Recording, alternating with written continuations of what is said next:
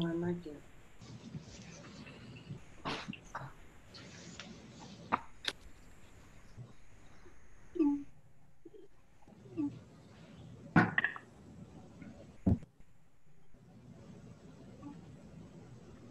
Good morning. Okay, and looks like we are live on YouTube. Okay, good morning, everybody. Welcome to the December 17th, 2020 public meeting of the New York City Landmarks Preservation Commission. I will call the roll. Chair Carroll, Here? Commissioner Bland, Here. Commissioner Shamir Baron, Here. Commissioner Chapin, Here. Commissioner Chen, Yeah. Commissioner Devonshire, Here. Commissioner Goldblum, Here. Commissioner Gustafson, Here. Commissioner Jefferson, Here. Commissioner Lutfi, Here. and Commissioner Holford Smith. Here. Okay, all set.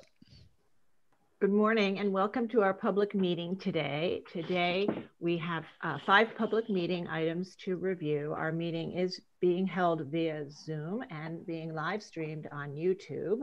These public meetings have all had public hearings where the commission listened to the presentation, listened to testimony, and reviewed written testimony and uh, commented on the projects and asked applicants to make revisions and come back and so these applicants are coming back today with revised proposals in response to those comments. So there is no additional public testimony. However, with public meeting items, we always welcome written comments on revised proposals that are submitted in advance of the public meeting day. So if we have received anything, we will note that for the record. And um, with that, I will turn it over to the Director of Preservation, Corey Scott Herrala, to lead us through our public meeting agenda. Okay, thank you, Sarah, and good morning, commissioners. We're going to start uh, this morning with item number one. This is LPC 21-00282, an application for a certificate of appropriateness in the borough of Brooklyn, block 1960, lot 32, 405 Vanderbilt Avenue in the Clinton Hill Historic District. This is a Romanesque revival style carriage house built in 1890, and the application is to construct a rooftop addition. This was last presented at the public hearing of October 6, 2020, and no action was taken at that time uh, and the uh, staff will be presenting this item this morning. And staff, you may begin. Um, hi, good morning, commissioners. Dina Taswinter, preservation staff.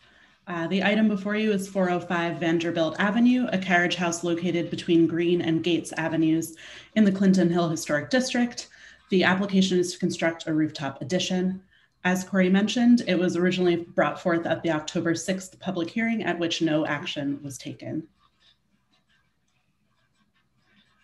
So this shows the original proposal. At the hearing, there was a consensus among commissioners that conceptually a visible rooftop addition with a contemporary design is appropriate at the building. However, the majority of commissioners had concerns about certain aspects of the addition as proposed.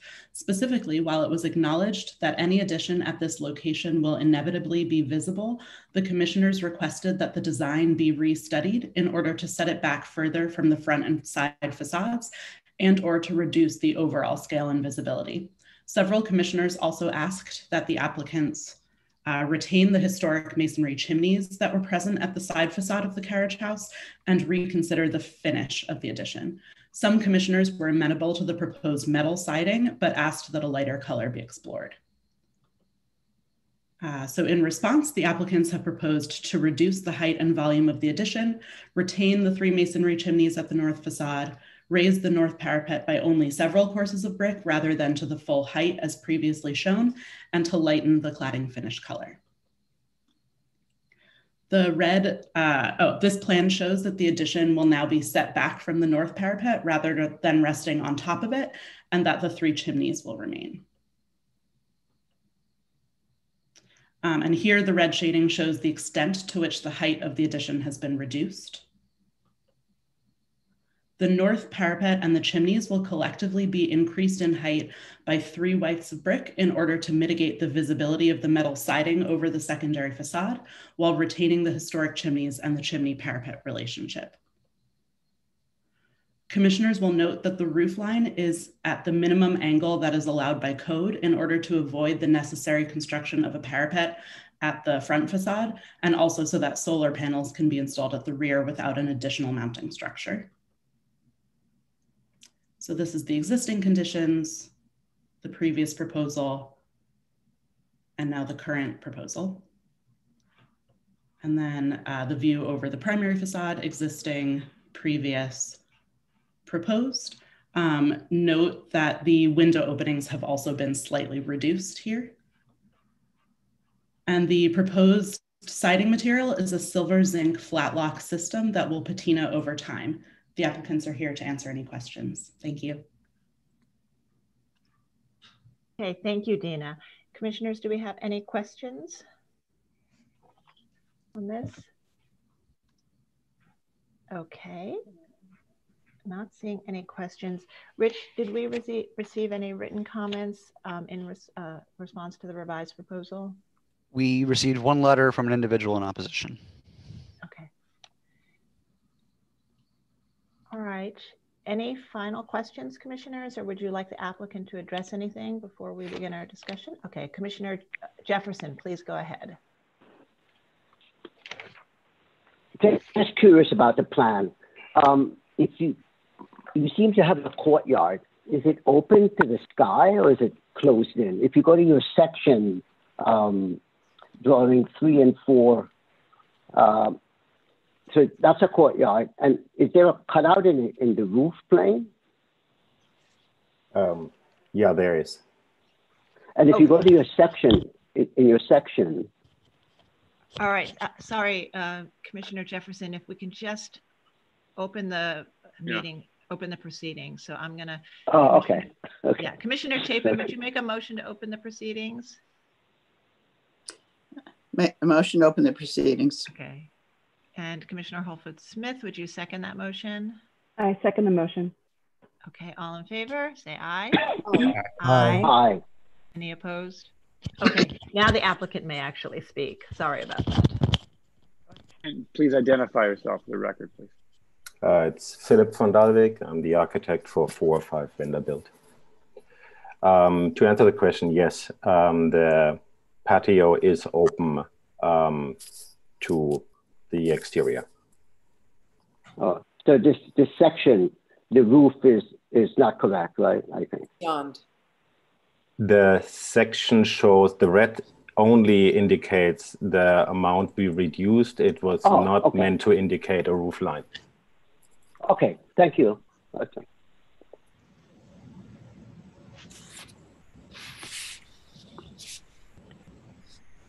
Other, any final questions? Okay. All right, I think we'll begin our discussion. Um, and this item um, we saw on in October, last October. And at that time, as Dina said, the commission uh, conceptually was conceptually fine with the idea of a visible addition on this building, given the varied streetscape and roof lines, and um, and and while some uh, had some questions about the geometry, others noted that the angles allowed for not only solar panels, but also the, to allowed them to avoid having to do a railing. And, and because it was next to angled pitched roofs and mansard roofs, I think most commissioners were fine with the geometry, but there was a strong suggestion to lower it, particularly at the front, and um, preserve the chimneys on the side and rethink the finish. And they have um, made a move in all three of those areas. So let's have a discussion and see if they have successfully responded to our comments. Um, I think Commissioner Shamir Baron, I think you were one of the commissioners who was very comfortable with the geometry and just wanted to see some changes to the refine it a little. And how are you feeling now? Yes, um, I was very much in support of, of the approach here. Um, I, I think I wanted to see the chimneys, but would have been fine living without them. And I also happen to like the previous color, but I understand that this will patina and change. So I'm very much in support of this and think it's absolutely appropriate. Okay, thank you. And Commissioner Holford-Smith? Uh, yes, I agree. I think the uh, reduction in height and the change to the lighter finish is, is successful. And um, I think I applaud the keeping of the original chimneys, which I think is an important feature of this view. So I'm in, I'm in favor of this application. Uh, Commissioner Chapin. Uh, yes, uh, while the um, dark color in some ways is it might have been a nicer design statement. I, I think that this change of color is uh, much better in helping it to blend in, and as uh, and also the lowering of the height. And I agree with keeping uh, the chimneys. And I think this is much more successful, and I feel comfortable with it at this point. Thank you. Okay, thank you, Commissioner Goldblum. Yeah, I agree. The chimneys are, are an improvement. The angle, reduction of angle is, is very effective while still keeping the interest of the design. I agree with Adi that the black was better. Um, I think that the gray actually calls a little bit more attention to itself than the black does. And the black actually, I think, blends better with the building next door and the kind of darker color of the dormers. Uh, uh, uh so I would encourage them to go back to the black, but I think it's appropriate. Okay, Commissioner Devonshire. Yeah, thanks, Sarah. I, I think this is excellent. I, I think he's been very responsive. The I, I actually think the Rheinzink is a good choice. It's going to be less reflective than is actually shown in this rendering, and it eventually will turn a, a darker gray, almost like the slate on the mansard next door. I think that's an excellent choice for the cladding. Great. And Commissioner Chen? Yeah, I agree with the commissioners. Uh, this is appropriate. Bland? Uh, agreed. Um, I think the Rheinzink is a great choice too. I think it will age nicely, and um, uh, and I like seeing the chimneys retained. Commissioner Lutfi? I agree. Um, I think the zinc is great. I think the proportions are better. I look forward to seeing it. Um, age. Uh, I, I actually appreciate the the uh, the angles at the top a little more now because uh, it's uh, seems a little more grounded within the uh, structure itself and the chimneys. Wonderful. Great. And Commissioner Jefferson. Um, my on? Yeah. I, I think, as an aside, I think your plan is beautiful uh, on the inside. Uh, in regards to uh, my comments, the the the the the um, the the chimneys are wonderful. I think they work really well, and I agree with my fellow commissioner that I think the darker panel color will act more as a silhouette that would probably work better than than than, than the gray. And the silhouette adds mystery to this uh, undulating ceiling plane. But I, I think it's, it's, it's a nice job. Very well done. Okay, and Commissioner Gustafson. Uh, appropriate as is. Okay, great. All right, thank you all. Um, I think that this project um, has really um, resolved itself very nicely, and I appreciate the applicant's response to our comments, which I think have made all the difference. And um, while I think some people were open to a darker color, we do have enough votes for it as is, and I do think this as will patina as well. So I think we'll go ahead and make a motion. Um, Commissioner Shamir Baron, are you okay making this motion? Of course, yes. Great, thank yep. you. In the matter of LPC 2100282 405 Vanderbilt Avenue, Clinton Hill Historic District, Brooklyn, a Romanesque revival style carriage house built in 1890 and the applications to construct a rooftop addition. I the building style, scale, materials, and details are among the features that contribute to the special architectural and historic character of the Clinton Hill Historic District, and I recommend approval, finding that the work will not damage or eliminate any significant architectural features of the building, that the addition will be set back from the primary and rear facades and will maintain a sense of the original volume of the carriage house, that the presence of a visible rooftop addition featuring a distinctive profile will relate to the varied and eclectic roof tiles of the streetscape, that the simple punched openings at the Vanderbilt Avenue facade of the addition will be in keeping with the fenestration pattern at the lower floors of the building and are consistent with top floor window openings found along its, this streetscape. That the proposed zinc flat lock cladding system is compatible with the materiality of a carriage house below and will harmonize with the other visible rooftop finishes along the streetscape that raising the parapet at the visible north facade while retaining the three historic chimneys will not eliminate any significant features or overwhelm the existing facade, and that the proposed work will not detract from the architectural and historic character of the historic district. Thank you. And Commissioner Holford Smith, would you second that motion? I second the motion. Thanks. And Rich, will you call the vote? Chair Carroll, Aye. Commissioner Bland, Aye. Commissioner Shamir Baron, Aye. Commissioner Chapin, Aye. Commissioner Chen, Aye. Commissioner Devonshire, Aye. Commissioner Goldblum, Aye. Commissioner Gustafson, Aye. Commissioner Jefferson. Commissioner Jefferson, you're muted.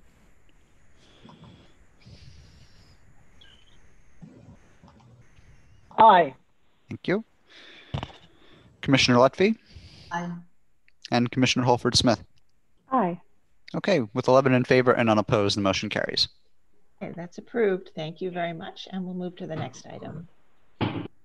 Next item is number two, LPC 21-04470, an application for an amendment in the Borough of Manhattan, Block 1832, Lot 29, 361 Central Park West, First Church of Christ Scientist of New York City, individual landmark. A Beaux-Arts classical style church designed by Carrere and Hastings and built in 1899 to 1903. The application is to amend the commission approval on 6/20/20 under LPC 20-05782 to construct additions, replace windows, alter entrances and replace doors, install signage, and excavate at the cellar to include revising the rooftop monitor. Commissioners, I'd like to note that in June of 2020, the commission approved a proposal for enlarging and modifying this roof monitor, along with other work to convert the building to a children's museum, but stipulated that the applicants explore with staff the feasibility of salvaging and reinstalling the copper cladding or replicating its profile up at the monitor.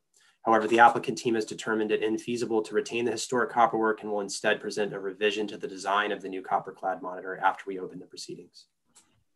Okay. Thank you. And Commissioner, let me just see, I've got to unmute everybody again. Commissioner Holford Smith, would you make a motion to open the proceedings? Motion to open the proceedings. All right. And Commissioner Bland, would you second that motion? Second. All right. And all in favor, say aye. Aye. Aye. Any opposed? Okay, the- the applicant may present. And please Good state morning. name for the record. Oh, good morning, Commissioners. Meisha Hunter Burkett, Li Saltzman Architects, um, and uh, very uh, pleased to be here today um, to present um, FX Collaborative's revised design. Um, and uh, just to be brief and following what Corey um, introduced, um, the team did hear most sincerely the commissioner's comments and did carefully study um, any way to salvage and reuse the historic copper as much as possible in the new copper monitor edition. Unfortunately, we determined that we cannot do it. Um, the existing copper is just not salvageable, and I'll show you that in some um, detailed photographs of the deterioration. Um, it's almost 120 years old and is severely deteriorated. Further, uh, the dimensions of the historic copper components um, do not work with the previously approved form that was uh, shown before the commission uh, in June of 2020. Um, what you'll see in this presentation is that FX Collaborative has um, improved and refined the details and the articulation of the new copper clad monitor edition from what was previously shown. Um, can I have the next slide, please?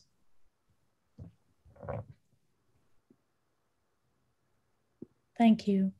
Um, this is a view of the existing condition uh, from uh, Central Park. Oh, can you go back, please? Yeah, thank you very much. Uh, this is a view uh, from Central Park West, uh, south of the site on 96th Street, um, and uh, looking northwest. Um, so this is the existing condition. Next, please.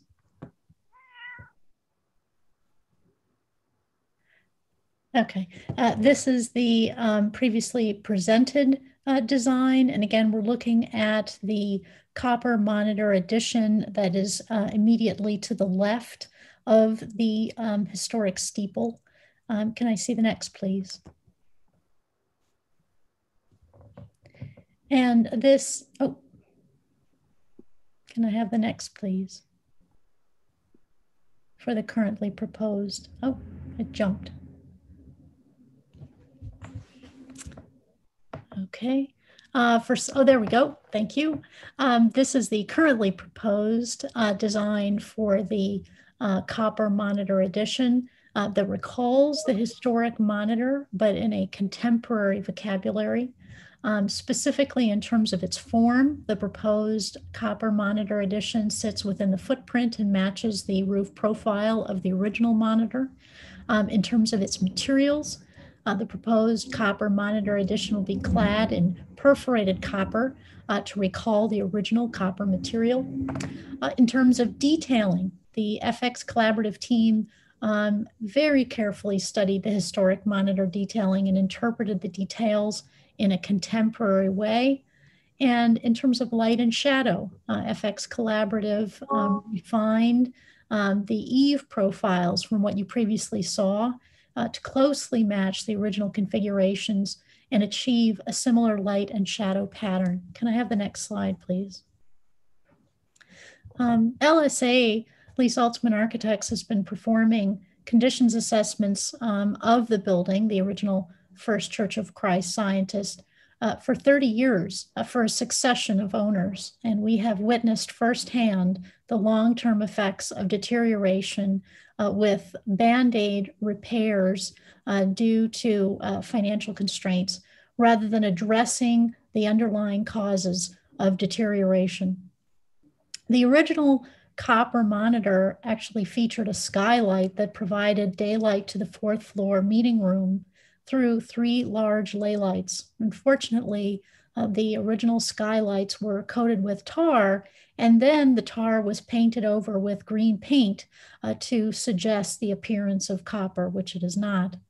Over the years, the original copper has been painted and repainted and coated multiple times.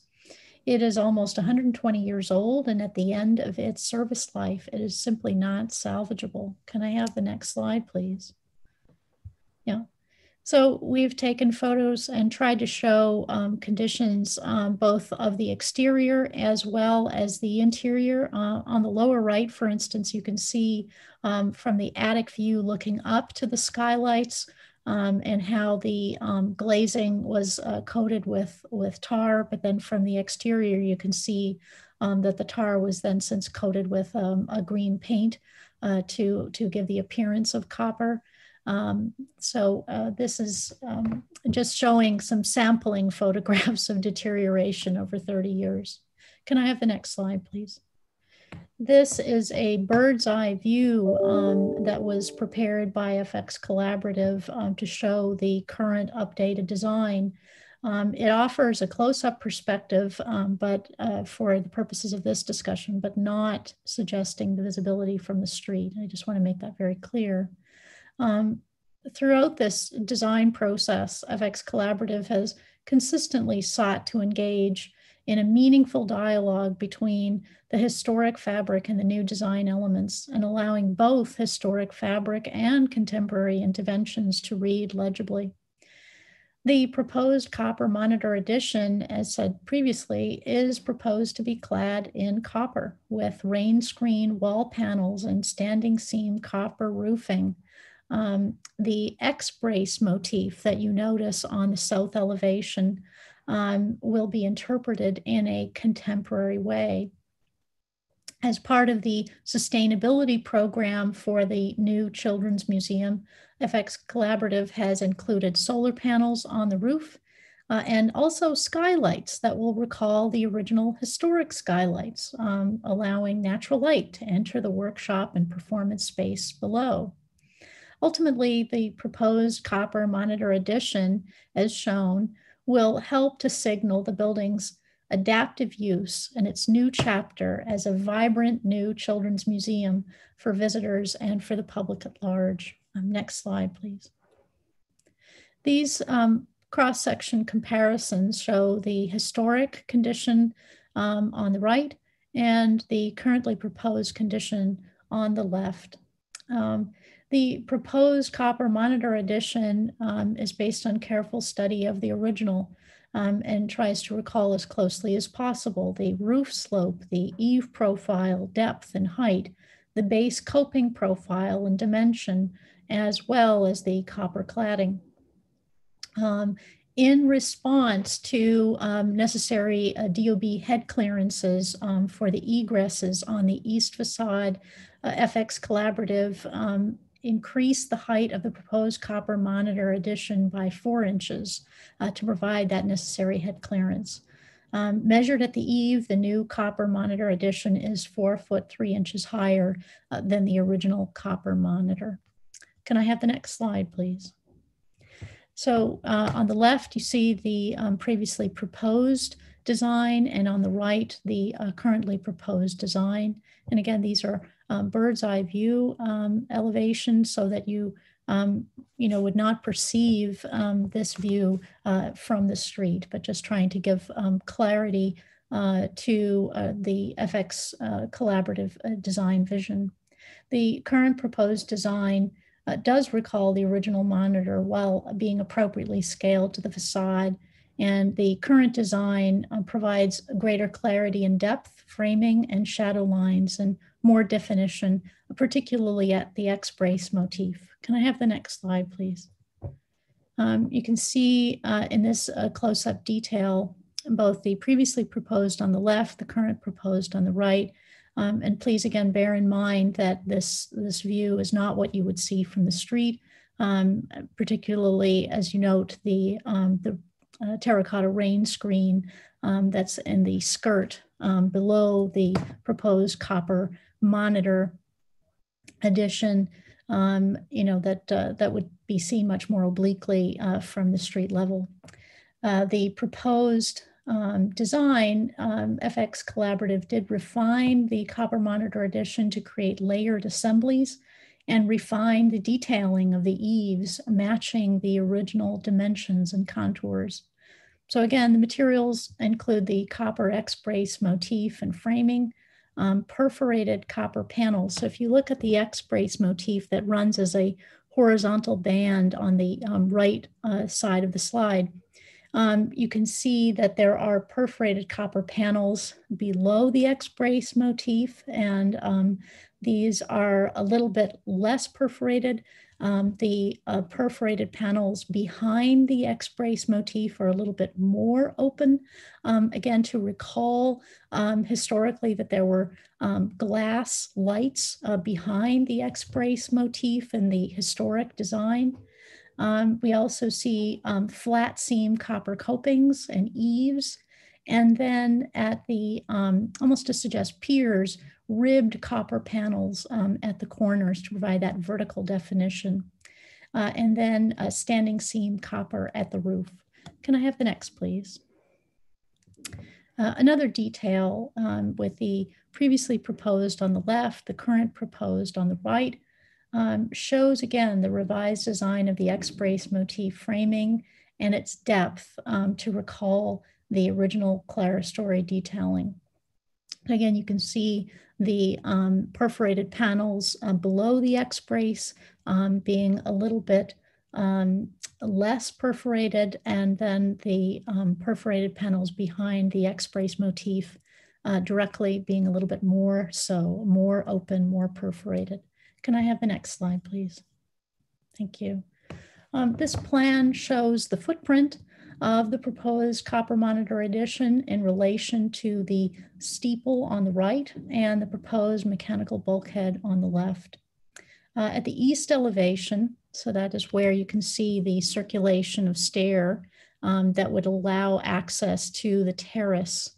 Um, the FX collaborative team was able to achieve the minimum separation distances between uh, the two exits um, in, um, in conformance with DOB code uh, requirements. Uh, next slide, please. Um, FX um, studied the proportions um, very carefully and prepared um, this visual analysis of the existing monitor overlaid onto the east facade of the proposed monitor addition. And similar to the south elevation, raising the monitor roof uh, transforms the east and west gable ends uh, into facades. The scale and detailing of the former gable end uh, at the east uh, no longer works with the workshop performance space and stairs um, beyond. Uh, FX studied the original composition uh, of the historic copper monitor and found an underlying rhythm between the end brackets and the center area with the segmented arch panels. The rhythm serves as the organizing element for the new east facade. Um, a strong horizontal datum that you can see um, between the uh, two egress points uh, recalls the raised base of the monitor and unites all four facades. Finally, the bracketed ends recall the original copper monitor condition. Uh, the openings maintain the overall symmetry and rhythm. And as we know, um, with this um, classical Beaux-Arts style building, that symmetry is so important. Can I have the next slide, please? The design was further refined to feature um, two inch wide, sorry, two foot wide panels that match the north and south elevations. Um, the stair openings that you can see at the south and the north um, that are adjacent to the end brackets meet the separation distance requirements as mandated, mandated by the Department of Buildings and reinforce the symmetry of the facade. Uh, we note that the eave profile does match the original copper monitor condition. Uh, the exit signs that you can see um, adjacent to both the um, egress openings uh, are laser cut into the um, copper panels. Um, there is a, a, rectangular window below the ridge uh, to allow light into the stair. Uh, you can also see a copper clad channel reveal and ribbed copper panels uh, at the corners. Next slide, please. And this is just, uh, in some, uh, we can see the existing condition, the previously proposed is shown in June, and the current proposed. Um, and uh, we believe that this uh, current design um, is appropriate um, and is, um, we present it to you today with, um, with great enthusiasm, and we are available to answer any questions that you may have. Thank you. Okay, Thank you, Meisha. So just to be clear, the commission approved a project here in June of 2020 to um, make changes to accommodate the new use of the Children's Museum. And that included, among other things, raising the height of the monitor, sort of reconfiguring and raising the height of the monitor. So the volume um, that was approved has not changed, but as a, a condition of that approval, we ask that the applicants consider um, exploring the feasibility of salvaging the existing copper for reuse on the approved volume.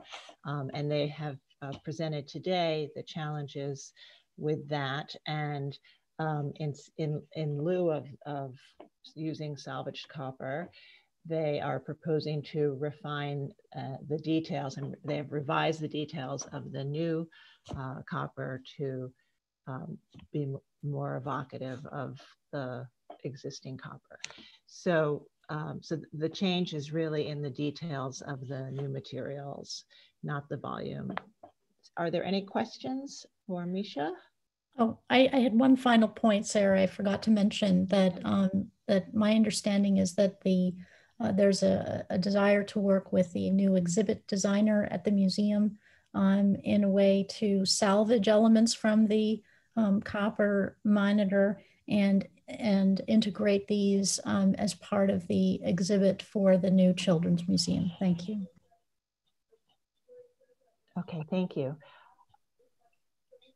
Okay, so uh, any questions?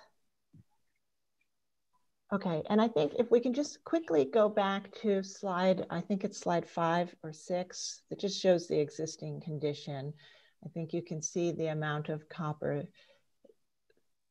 that um, that exists in its condition. And so what we were looking at are the, the crosses, some brackets, and these end panels. Um, much of this, as Meisha has described, is very deteriorated and, and or altered. But um, I think other part of the technical issues is that the end panels um, cannot be incorporated into the addition with the doors in a sort of meaningful way and that there may not be enough of it to be meaningful as I think what was being presented today.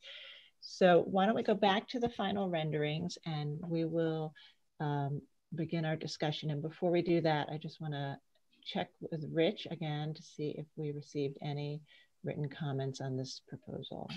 No written comments on this proposal. Okay. Okay, I am unmuting everyone so that we can begin our discussion. Um, Commissioner Bland, I believe you were here and supported the uh, proposal as it was presented last time and want to hear your thoughts on this. Well, still supporting it. Um, I think the changes, of course, minimal. For a long presentation, there's not much uh, really that's changing. Um, uh, and we've already approved the, the change of, uh, of the mass up on top. It's over, a little over four feet taller than the original.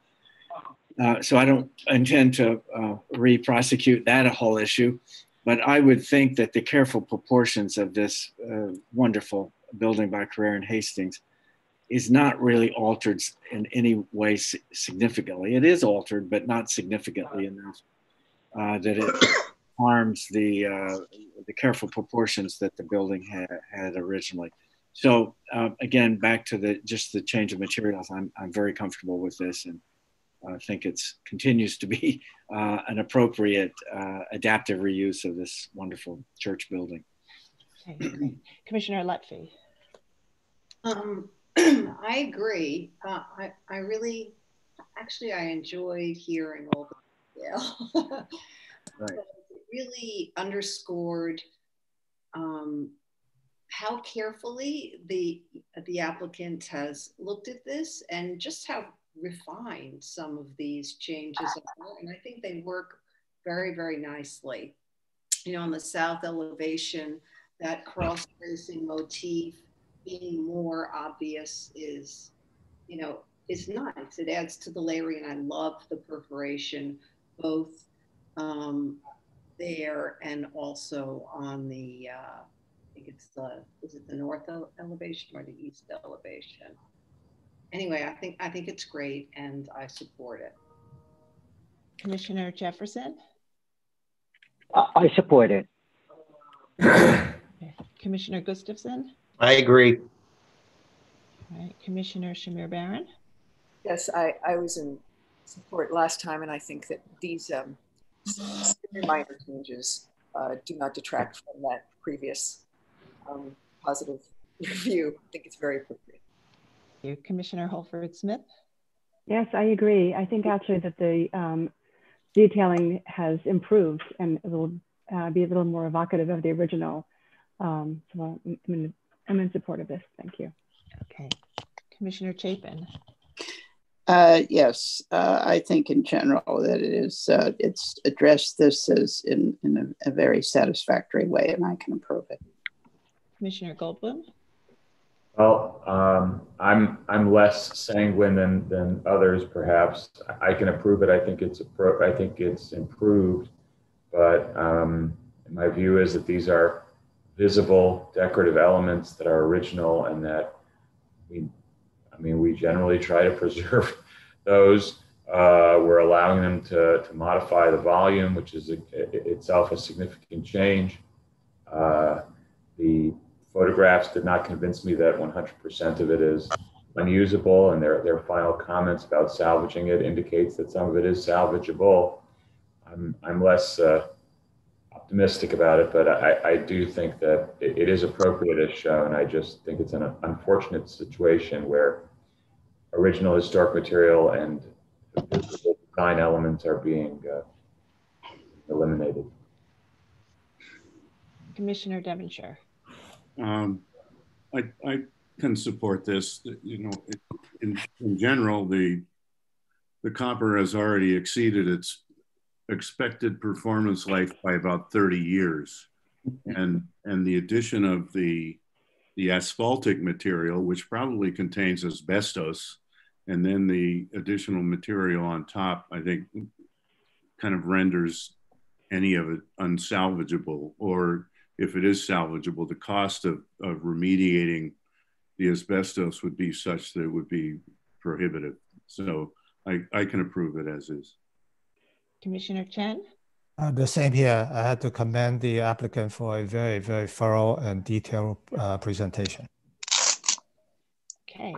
and I think we've made it around. So I think we do have um, a, a, consensus here of support, um, recognizing, of course, Commissioner Goldblum's concern about historic material, um, visible decorative historic material being lost. But I do think um, there are issues with being able to salvage it in a meaningful way, you know, rather than maybe just a piece here or there. And I think um, that the that the new material and the new details will be much more evocative. So than was pre, than what was previously presented.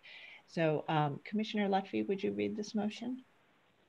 Yes, I would. And and I would just like to, before I do, um, congratulate the uh, Children's Museum. They have been in search of a space for so long. They found one. They've worked so hard on this. And I want to wish them the best of luck. Yes. Um, okay. Uh, in the matter of docket 21 00, oh, 04, sorry, dash 21 dash 04470 361 Central Park West, Church of Christ Scientist of New York City individual landmark, a Beaux-Arts classical style church designed by Carrere Hastings and built in 1899 1903. The application is to amend the commission approval on 6-2020 under LPC 20-05782 to construct additions, replace windows, alter entrances, and replace doors, install signage, and ex excavate at the cellar to include revising the rooftop monitor. I note that the commission approved a proposal for enlarging and modifying the roof monitor along with other work to convert the building to a children's museum. Stipulated that the applicants explore with staff the feasibility of salvaging and reinstalling the copper cladding or replicating its profile. I recommend approval finding that the existing decorative copper work at the monitor is in poor condition that warrants replacement that the placement and proportions of the existing copper work do not readily adapt to the design and form of the raised rooftop monitor previously approved by the commission as part of the adaptive reuse of the building, particularly at the corners of the gable ends where new openings are being incorporated. That the details of the proposed new copper work more fully express the depth and articulation of the original copper elements than the previous proposal and as viewed from the street will recall the original monitor and harmonize with the building, and that the proposed work will not diminish the special architectural or historic character of this individual landmark. All right, thank you. And Commissioner Bland, would you second that motion? Second. And Rich, will you call the vote? Chair Carroll. Aye. Commissioner Bland. Aye. Commissioner Shamir Baron. Aye. Commissioner Chapin. Aye. Commissioner Chen. Aye. Commissioner Devonshire. Aye.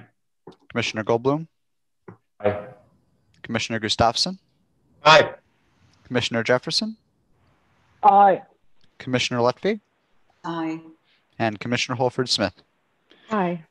Okay, 11 in favor, none opposed. The motion carries. That's approved. Thank you and good luck. And we'll move to the next item.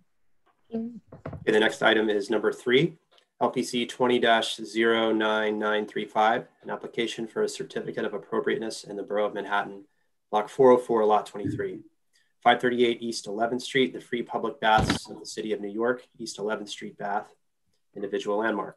This is a neo-Italian Renaissance style building designed by Arnold W. Brunner and built in 1904 to 05. The application is to alter the facade. This was last presented at the public hearing of November 10th, 2020. No action was taken at that time. The staff will do a brief introduction. Good morning, commissioners. Brian Blazak, preservation staff. Uh, the subject property is 538 East 11th Street. As Corey said on November 10th, 2020, the commissioners reviewed a proposal to remove and replace the existing gates and monumental openings, to remove the existing tiling and install wood cladding at the open vestibule, to remove and replace the existing lanterns, and to alter the front steps and install a handrail. Most commissioners expressed concerns that the proposed ironwork does not sufficiently recall the original elaborately designed ironwork at the transoms and felt that the proposal needed more articulation, depth, and revised profiles and solid to void ratios. No action was taken. As a result, the proposal has been modified to that feedback, and the applicants are here to walk you through the updated proposal. Thank you. Thank you. And we'll have to open the proceedings so the applicants may present. Commissioner Gustafson, would you make a motion to open the proceedings? So moved. And Commissioner Lutfy, would you second that motion? Second. All in favor, say aye. Aye. Aye. Aye. Any opposed? Okay, the applicant may begin. And just state your name for the record. Please remember to unmute yourself. Thank you. Yes, hi, good morning, Shay Murdock. Murdock Solon Architects. Okay, please go ahead. Um, yes, uh, I can't see the slides, hold on. Here we go. Oops.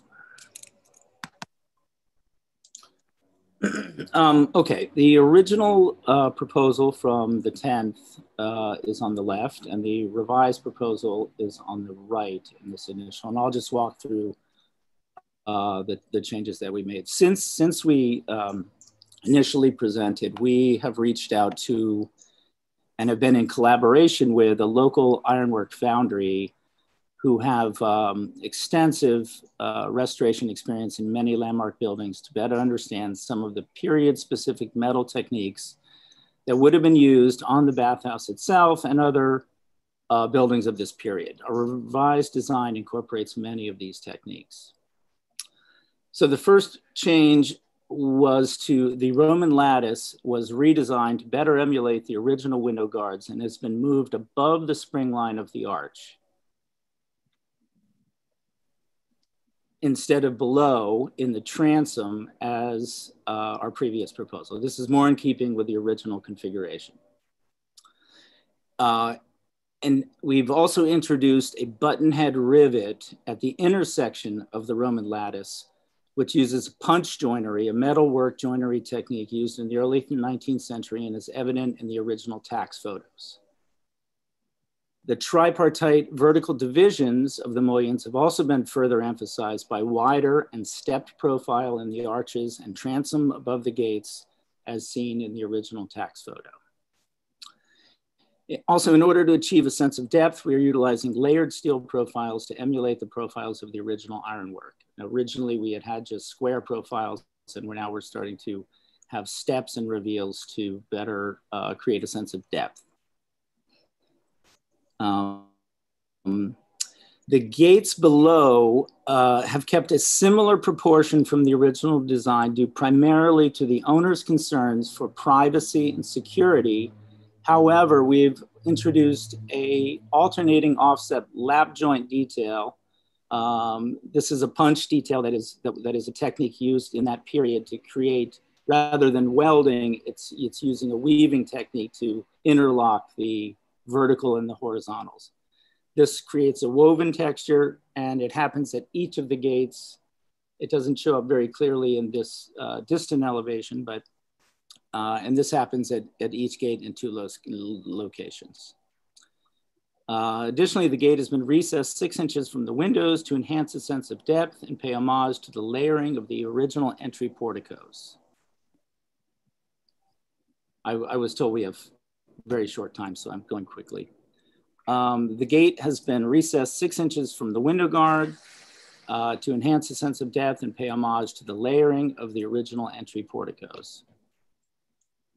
Um, in reference to a comment on the steps, we're proposing a solid limestone step for durability. Um, the client will have somebody who maintains that, and we're also have a, um, a snow melt to eliminate potential freeze thaw and damage. And then in terms of the lanterns, we she we've decided to uh, just keep the existing lanterns, so there'll be no lantern replacement in this application. So May, if you want to, are you controlling the slides, May? Yes, I'll switch it.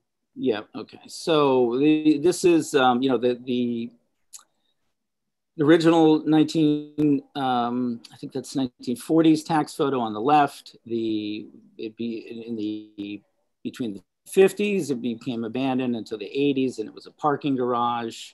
You can see they infilled everything with block and glass block.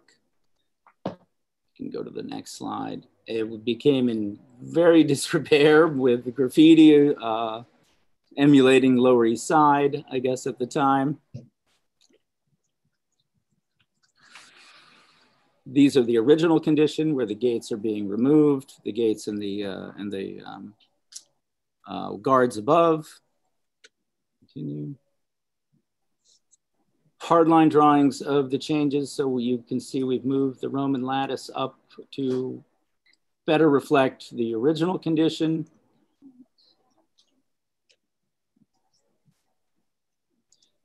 An example of the profiles where we're using layered stepped um, flat steel to create a sense of depth. This was also something that we were that was taken from the uh, original tax photos and a technique uh, recommended by our uh, foundry expert.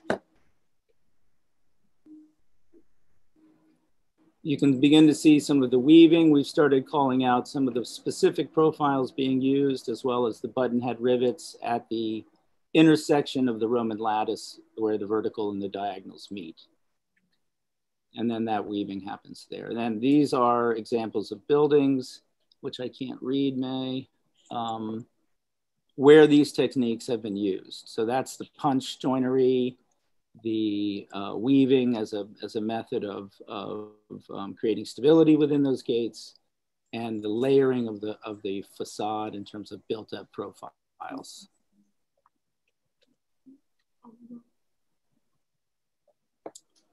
It's just a rendering.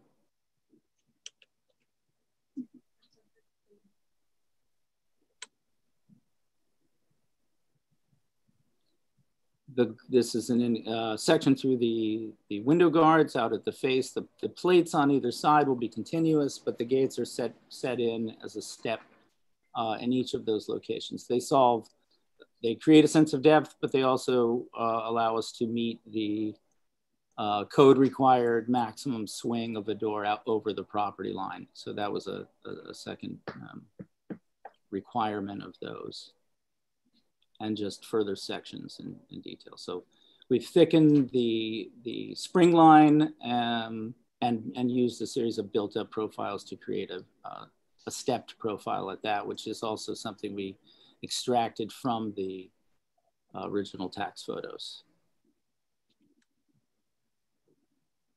And these are just plans.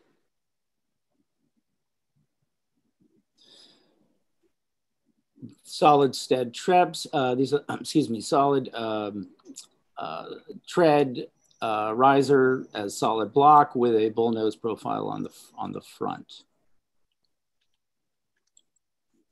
So the existing steps. We've also added one riser for safety because those exceed code. So it's four steps now. Interior remains unchanged from the previous application.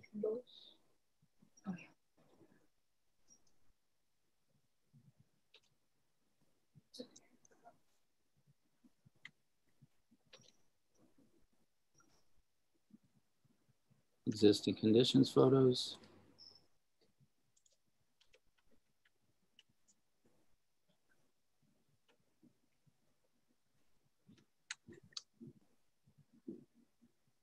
That the conclusion of your presentation? Yes, it is. That's the conclusion. Okay. All right, commissioners, do we have any questions? All right, I thought I saw a hand, but I guess that question may have been answered in the presentation. All right, not seeing any questions at this time.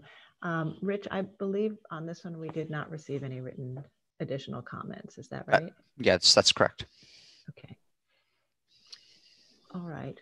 Well, if there are no other questions, then I guess we will move to our discussion. So I'm going to start unmuting you all or requesting to unmute you. So look for that request.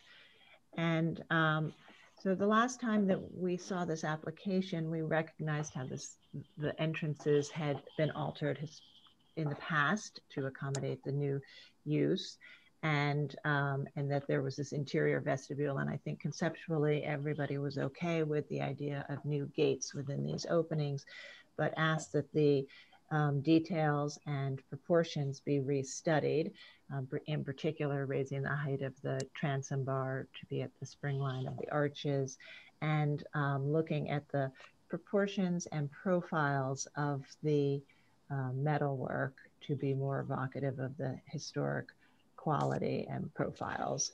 So the applicant has presented some changes today, and we'll have a discussion about that. Um, Commissioner Devonshire, would you like to start this one? Sure.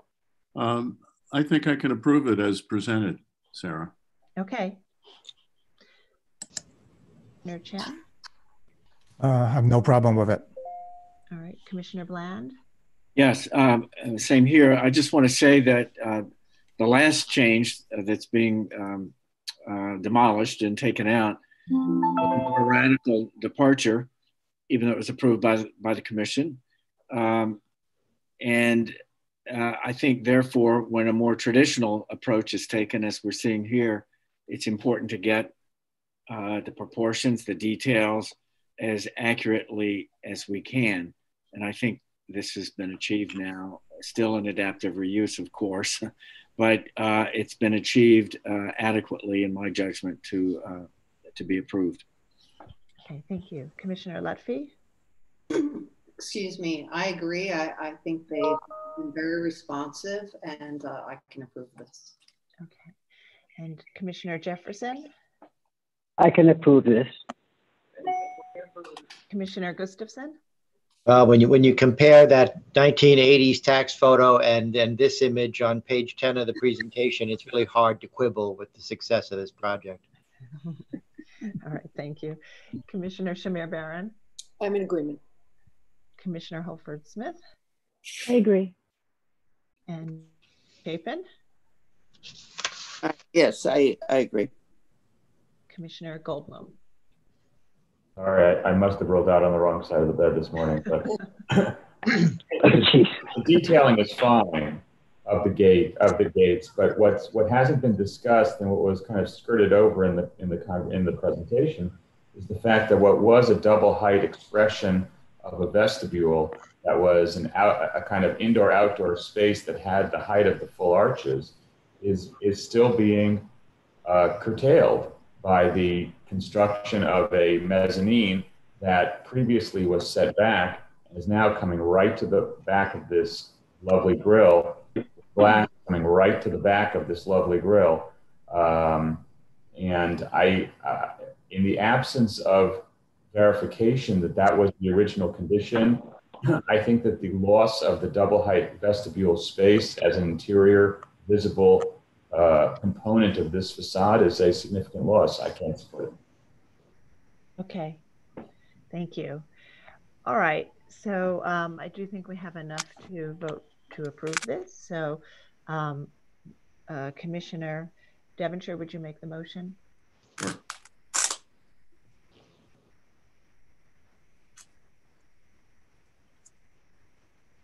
In the matter of 538 East 11th Street, the Free Public Baths in City of New York, East 11th Street, Bath, an application to alter for the facade, I recommend approval, finding that the removal of the existing gates, framing, and tiles from the monumental openings will eliminate unsympathetic alterations that detract from the facade.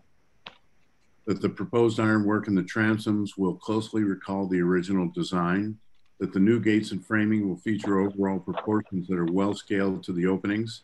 The proposed neutral wood cladding in the open vestibule will be seen behind the gates and in shadow and will not call undue attention to itself.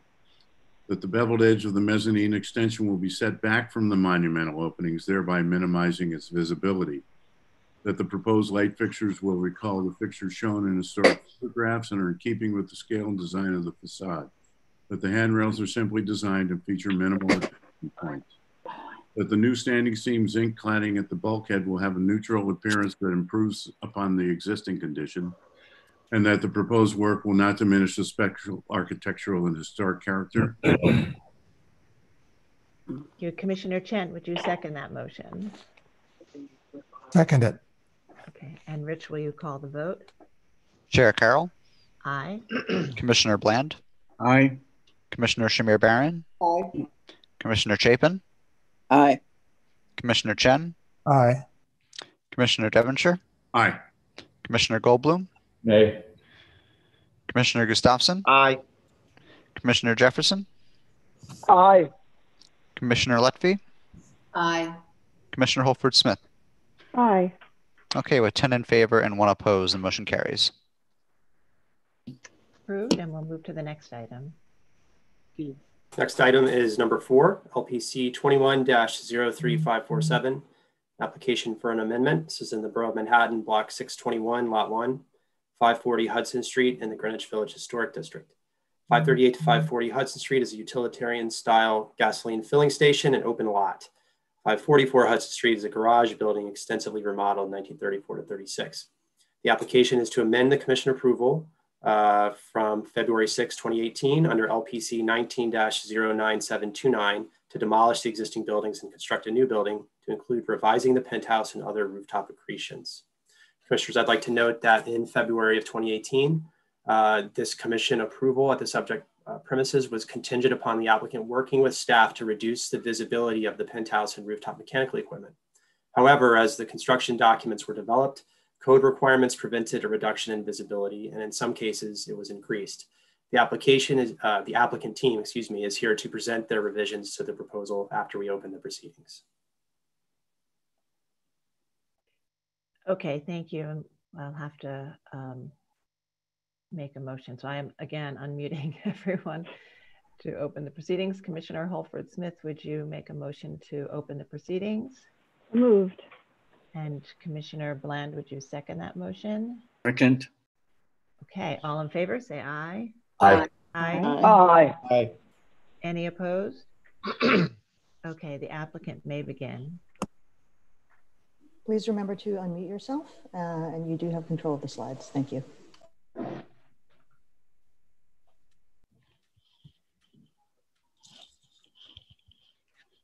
Uh, David, can you uh, move the slide to the next one, please?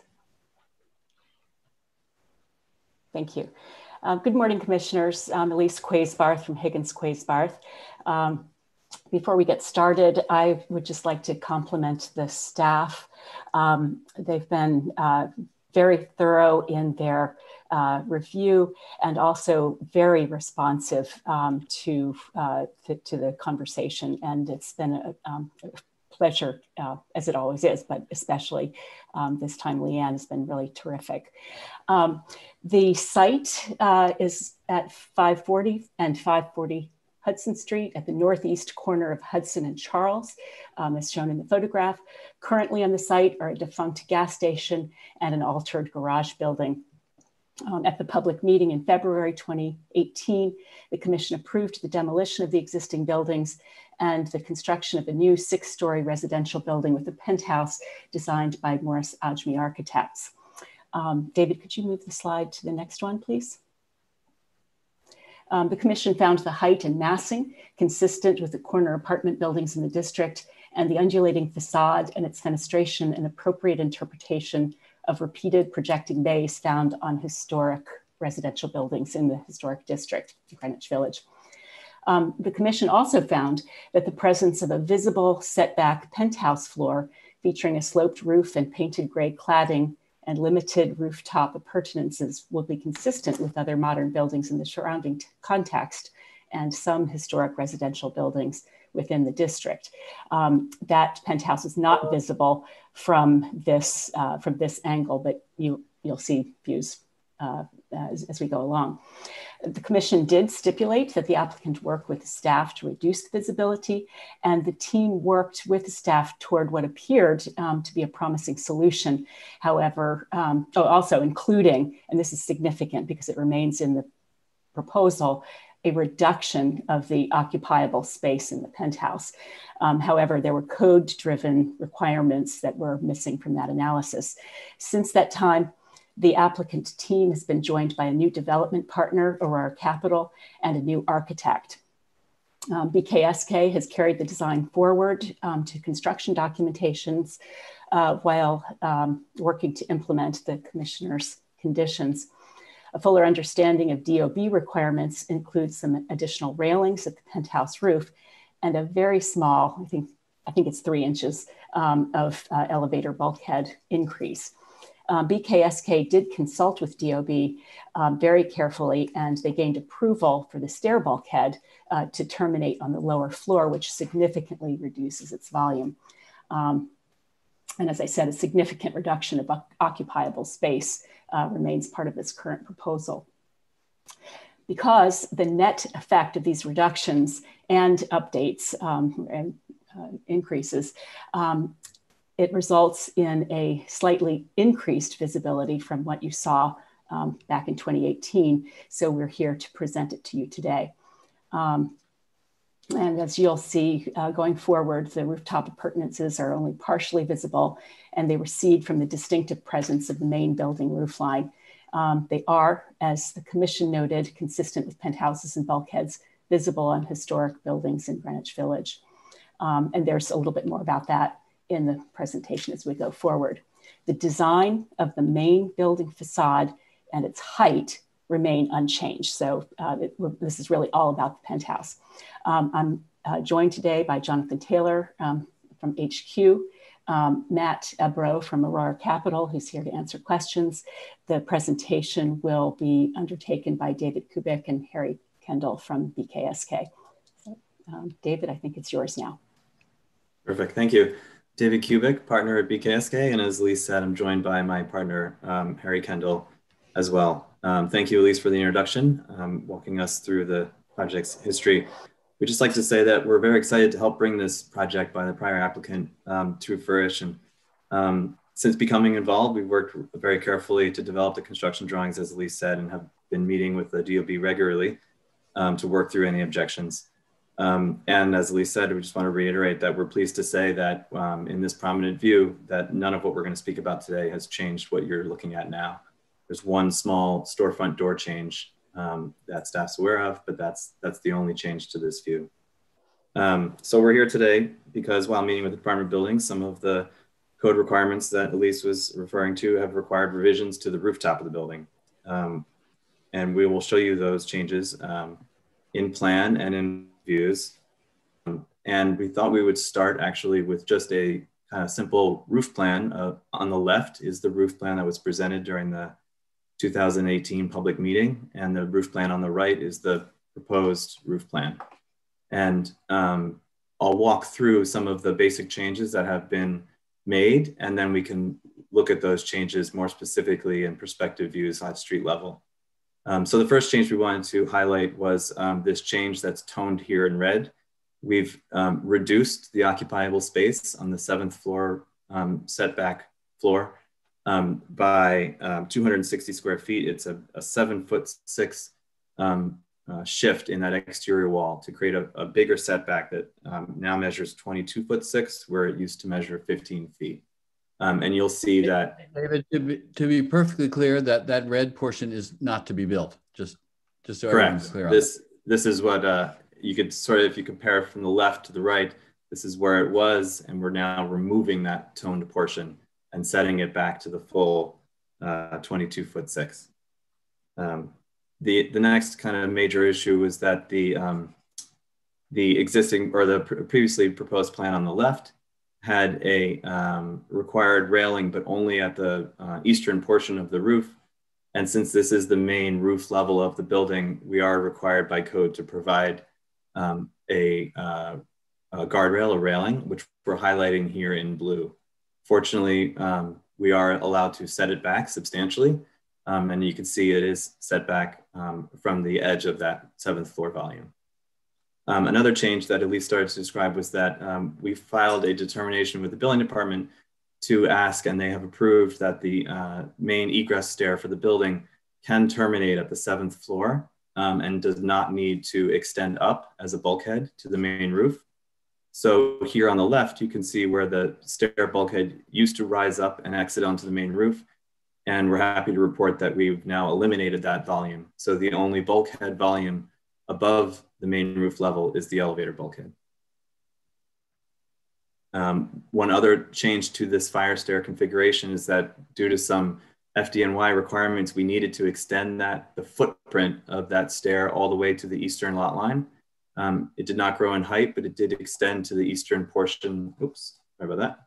It did extend to the eastern portion of the lot line, and we'll show you in perspective views that this change is not visible in any of the street views. Um, one other change is right next to the elevator bulkhead. Um, it, in both the previous proposal as well as what we're showing you today is where the trash chute flue is located um, a code requirement there that the trash chute needs to be six feet higher than any adjacent roof. Um, so we've had to extend that a little bit higher than what was previously proposed. Um, and it's basically a net increase of two foot three to get us to that six foot requirement. Um, also, um, Elise was correct in saying that um, working through the details of the elevator machinery itself and the roofing details we did have to raise the coping around the elevator bulkhead, but only by three inches. Um, and the last change that I'll um, show you here in plan, and then we can start to look at these in the perspective views, is that you can see these small square, would almost look like tiles running around the edge of this roof. Um, those are green roof trays to comply with the local law 9294 requirements. And those are located um, on a portion of the, of the main roof that is sloped. Basically, this outer zone that wraps around the perimeter of this seventh floor is sloped to a lower elevation um, to decrease the visibility of this seventh floor um, volume. And we'll show you the details for that in section. First, before we get to those perspectives, just walk through these same elements in elevation. This is the west elevation um, presented in 2018 just highlighting in red the profile of, of that volume so that we can compare it against the next slide, which is the proposed elevation. You can see here on the right-hand side, this is that seven foot six inch um, setback where we've reduced the volume of the seventh floor. So you're seeing that benefit here. Um, you can see our, our larger trash chute you, and you can also see where the um, stair bulkhead used to be, which has now been eliminated, and it's only the elevator bulkhead. You can also see the presence of um, the main roof railing um, added to this, uh, the, the top of this volume as we were looking at in plan. This is the south elevation um, as presented in 2018. Again, you can kind of see this sloped stair bulkhead with the stair door. And here on the proposed elevation, you can see that that stair bulkhead has been removed and the minor change to the trash chute. And again, because this is not a 90 degree corner, you actually get a little bit of a benefit to the setback um, in the west elevation as well. And on the right-hand side, you can see how the stair bulkhead has been extended to the eastern lot line. This is just a section through the roof to explain our strategy for how to incorporate the green roof trays. On the left-hand side in the previous proposal, there was actually a very thick, um, heavily insulated uh, roof assembly that afforded us a lot of dimension that we were able to um, detail differently and allow the green roof trays to sit within the exact same dimensions um, so to as not increase the visibility of, of that kind of finished roof surface. So the the green roof itself, we've picked a, a, species that only grows about two to three inches above the trays. So we don't believe that the growth will um, exceed the height as shown in this red dashed line.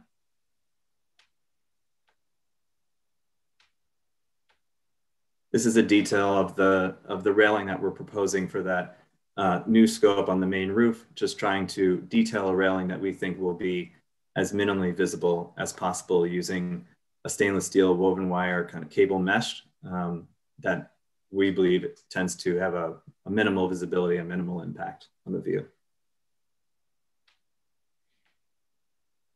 And as we start to look at the elevations, we just wanted to kind of stop and pause for a minute and um, take a look at some other projects in the district and what you can come to expect when walking through the historic district in terms of visibility. Um, some of these projects the first two here on Horatio Street and West 12th Street, um, older projects not approved by the commission, but are in the district and have quite visible bulkheads and chimney structures. Um, and then the remaining four projects here, including notably on the right here, 534 Hudson Street, which is directly across the street from our site to the south, approved in 1998, um, has some visible bulkhead structures, chimney structures, flues, and, and partial penthouse um, structure visibility as well. Um, so we think what we'll, we'll be showing you today um, is appropriate and in, or in keeping with what you might find when walking through this historic district. So again, just, just a reminder that from this main view opposite, on the opposite corner, none of what, what we just presented has um, become visible in this prominent view. Um, moving west on Charles Street, the previously proposed on the left and what we're currently proposing on the right. Um, we worked with prior applicant to um, uh, present the same perspectives for comparison. Um, we've worked to make them as accurate as we can be and also kind of increased a little bit of the kind of visual shadow of the cornice, which we which wasn't really showing as strongly in the previous views, but we think is actually important to understand how the main building kind of relates to or offsets the, the penthouse structures themselves. So if you look at the detail views at the upper right or the top of the page, um, you can see some of the things we talked about in terms of um, that setback railing on the main roof or the trash chute being a little bit taller than it was before you can see that the, the kind of curved corner of the seventh floor volume is now further to the left due to that um, decrease of occupiable space that we mentioned earlier. This is further back on Charles Street. And again, um, this view really kind of shows the benefit of that seven foot six um, setback where the volume is now positioned further to the left.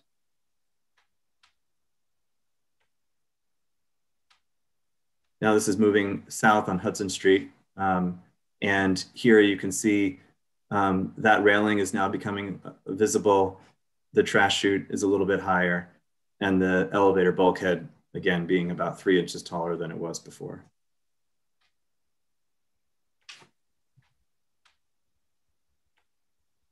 This uh, moving even further south on Hudson Street. Um, again, the same elements, you're just sort of seeing the trash chute a little bit here clipped by the um, building in the foreground. But you can also see how the, the seventh floor volume appear, appears a little bit shorter due to that setback, that reduction of occupiable space. This is a view from the north. Um, there was a rendering in the prior um, proposal in the presentation, which there is a large tree here. So we thought rather than render it with a large tree, we would just show you um, these wireframe views. Um, again, in this view, really what you might see as an addition is that uh, the new railing on the, um, the main roof.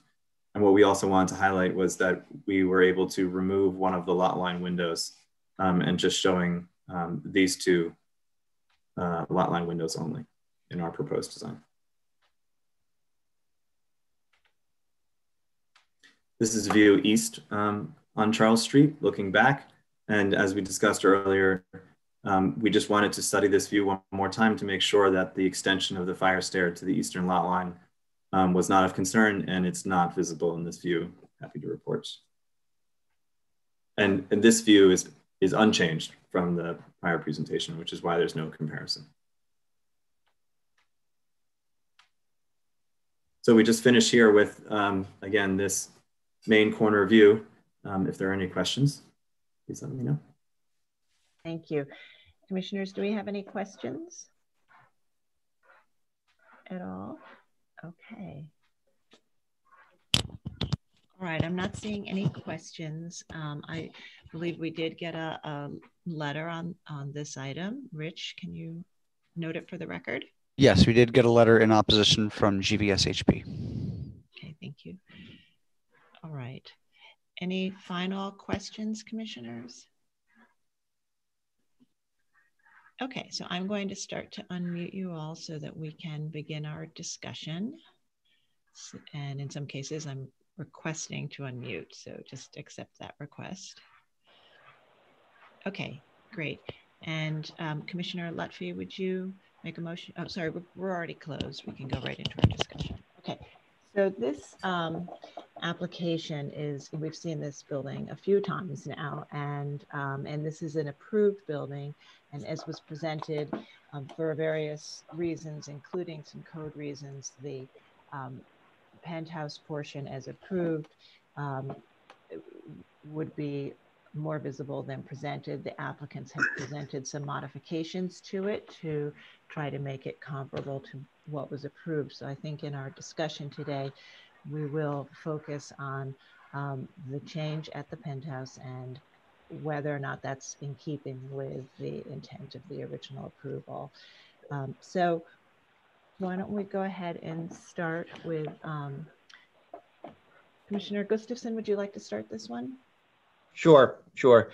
Um, just to sort of get put a little framework around this, um, the applicant's program caused an issue for us the first time around, uh, and we made our approval contingent upon the applicant reducing the visibility um, uh, of the penthouse, um, so to adjust their program. Um, it turns out the program caused causes even greater issues because they missed um, the code requirements and the like. And now they have, I guess there's really two choices at that point. Um, you know, we could, uh, uh, they could, you know, change their program or, um, or ignore the issue. Um, and I think they've adjusted it. it. Is what I'm hearing. They adjusted the program slightly to um, to reduce that additional visibility. Am I right about that? Yes, they have cut back the occupiable space. Right. Um, okay. And that and that to me is exactly the kind of response they should have made, which is to say, you know, you don't stand firm on the program at that point. You do something. Um, and and so that takes me to the visibility studies. Um, and uh, and, and I think in particular because of the um, uh, you know the, the materials and the colors of and the uh, of the um, uh, the rooftop um, areas, um, it's very it's really hard to discern. Um, and uh, and I, as we saw, you know, some visibility is is to be expected in these situations in the village. So so I think this is appropriate. Okay, thank you. And Commissioner Shamir Baron. Yes, um, thanks, John, for clarifying all of that. Um, I agree with you. I think it is appropriate. Okay, Commissioner Holford-Smith. I agree. Um, I think it's they've, they've, they've changed it um, as best they could to minimize visibility. So I think it's still appropriate. Okay, Commissioner Goldblum. Oh, sorry, Commissioner Chapin. Uh, yeah, I think uh, you know it's a large building, and rooftop accretions are you know typical in general of uh, this district as well as others. And if it were an individual landmark or a uh, you know a particular kind of very a building where I thought this uh, was drawing it due attention to itself. But I feel because this is a new building, and yes, a new building could be modified easily and all that, but I think because it's a new building, that I can accept this kind of rooftop accretion is not really diminishing it that much that it's it's a real problem for me. I do appreciate that the applicant worked very closely with our staff. We often have people coming back having built things after the fact and saying, oh, well, we, we just didn't, you know, know what to do or something. So I, I think the fact that they worked closely with the staff and, and took appropriate uh, actions to try to remediate the problem uh, it also weighs with me as you know it's an important uh, it's an important consideration that uh, I think they're trying to do do due diligence here, so I can approve it as presented. Your Commissioner Goldblum. I agree, it's appropriate. Okay, Commissioner Devonshire. Oh, he may have gone already. Okay, Commissioner Chen. Uh, likewise here. Okay, and Commissioner Bland. You know, it's a rare building in New York that you don't see something on the top of it. Um, and I think the applicant worked very hard to uh, minimize this, but to, to, but to see it, uh, but to see it over the top of a very interesting new design element, that cornice, that wavy cornice, still does not distract from appreciating that design element, so I can approve it as well. Commissioner Lutfy? Yeah, I agree. I can approve it as well. That setback, I think, really helps um, from a visibility standpoint, especially at a distance. And I think this is going to be a nice addition to the landscape. Thank you. Commissioner Jefferson? I can approve it. Okay, so I think we are all in agreement on this. So uh, Commissioner Gustafson, would you make the motion? in the matter of uh, LPC 21-03547, 540 Hudson Street in the Greenwich Village Historic District. The application is to amend the commission approval on February 6, 2018 under LPC 19-09729 to demolish the existing buildings and construct a new building to include revising the penthouse and other rooftop accretions. I note that the previous approval for a new building had a stipulation that the applicant work with staff to reduce the visibility of the penthouse and the rooftop mechanical equipment, but at, that as the construction documents were developed, code requirements prevented a reduction in visibility. I recommend approval, finding that the presence of a visible setback penthouse floor featuring a sloped planted roof and planted and painted gray cladding and limited rooftop appurtenances, including an elevator and stair bulkhead, vent, railings, and mechanical equipment, is consistent with other modern buildings in the surrounding context and some historic residential buildings within this historic district. That the south facade of the penthouse has been set back further from the Charles Street facade than initially proposed, thereby minimizing its visibility over the undulating cornice, and that the proposed work will not detract from the special architectural and historic character of the streetscape or the Greenwich Village Historic District. And Commissioner Shamir Baron, would you second that motion? Second the motion. Rich, will you call the vote? Chair Carroll, Aye. Commissioner Bland, Aye. Commissioner Shamir Baron, Aye. Commissioner Chapin, Aye. Commissioner Chen, Aye. Commissioner Devonshire. Had to leave. Oh, look! thank you. Commissioner Goldblum, Aye. Commissioner Gustafson, Aye. Commissioner Jefferson, Aye. Commissioner Lutfy, Aye. and Commissioner Holford-Smith. Aye. Okay, with 10 in favor and none opposed, the motion carries. All right, that's approved. Thank you. And we'll move to the next item. Okay, next and last item of the day is number five, LPC 20-11316, an application for a certificate of appropriateness in the Borough of Manhattan, Block 151, Lot 29, 315 Broadway Building Individual Landmark, an Italian Renaissance style store and loft building built in 1861. The application is to demolish a portion of the rear of the building and construct a new building on a portion of the site. This was last presented at the public hearing of September 15th, 2020. No action was taken at that time. The staff will now do a brief introduction. Good morning again, Commissioners. Uh, Brian Blazak, Preservation Staff. Uh, the subject property is 315 Broadway, an individual landmark Italian Renaissance style store and loft building.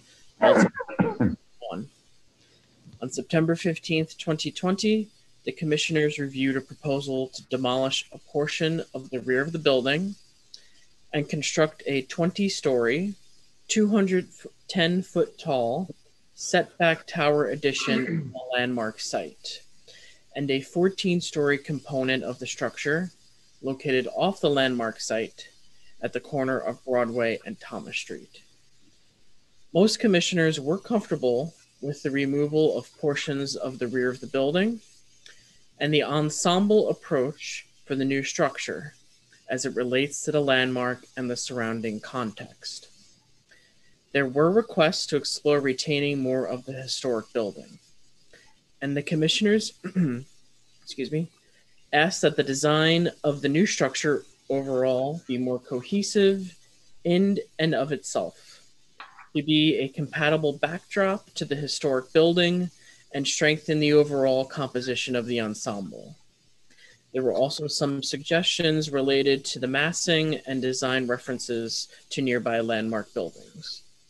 No action was taken. As a result, the proposal has been modified as a response to that feedback. The applicants are here to walk you through the updated proposal. Thank you. Thank you, Brian. And we'll need a motion to open the proceedings. So Commissioner Chapin, would you make that motion? Motion to open the proceedings. Thank you. Commissioner Bland, would you second that motion? Second. All in favor, say aye. Aye. Aye. Aye. Any opposed? Okay, the applicants may begin. Uh, good morning, Commissioners. Erin Ruley of Higgins Quasebarth and Partners. Uh, Morris Adjmi and I will walk you through uh, the revised proposal today. Um, since it's been a few months since we've seen you, I'm going to uh, briefly summarize the thinking behind the um, overall proposal and its appropriateness, um, and Morris will walk you through the design. We're also joined uh, by Albert Laboz, the owner of the site from um, United American Land, and Nick Chelko of Morris Adjmi Architects. Um, and so as Brian described, um, we heard your comments and um, we are uh, very excited to share with you today this uh, revised proposal. Um, and uh, specific to the, to the comments, the, this proposal addresses a few fundamental changes. Uh, first, we substantially increased the um, area of the landmark to be preserved. Um, and the design revisions encompass um, a few sort of big moves.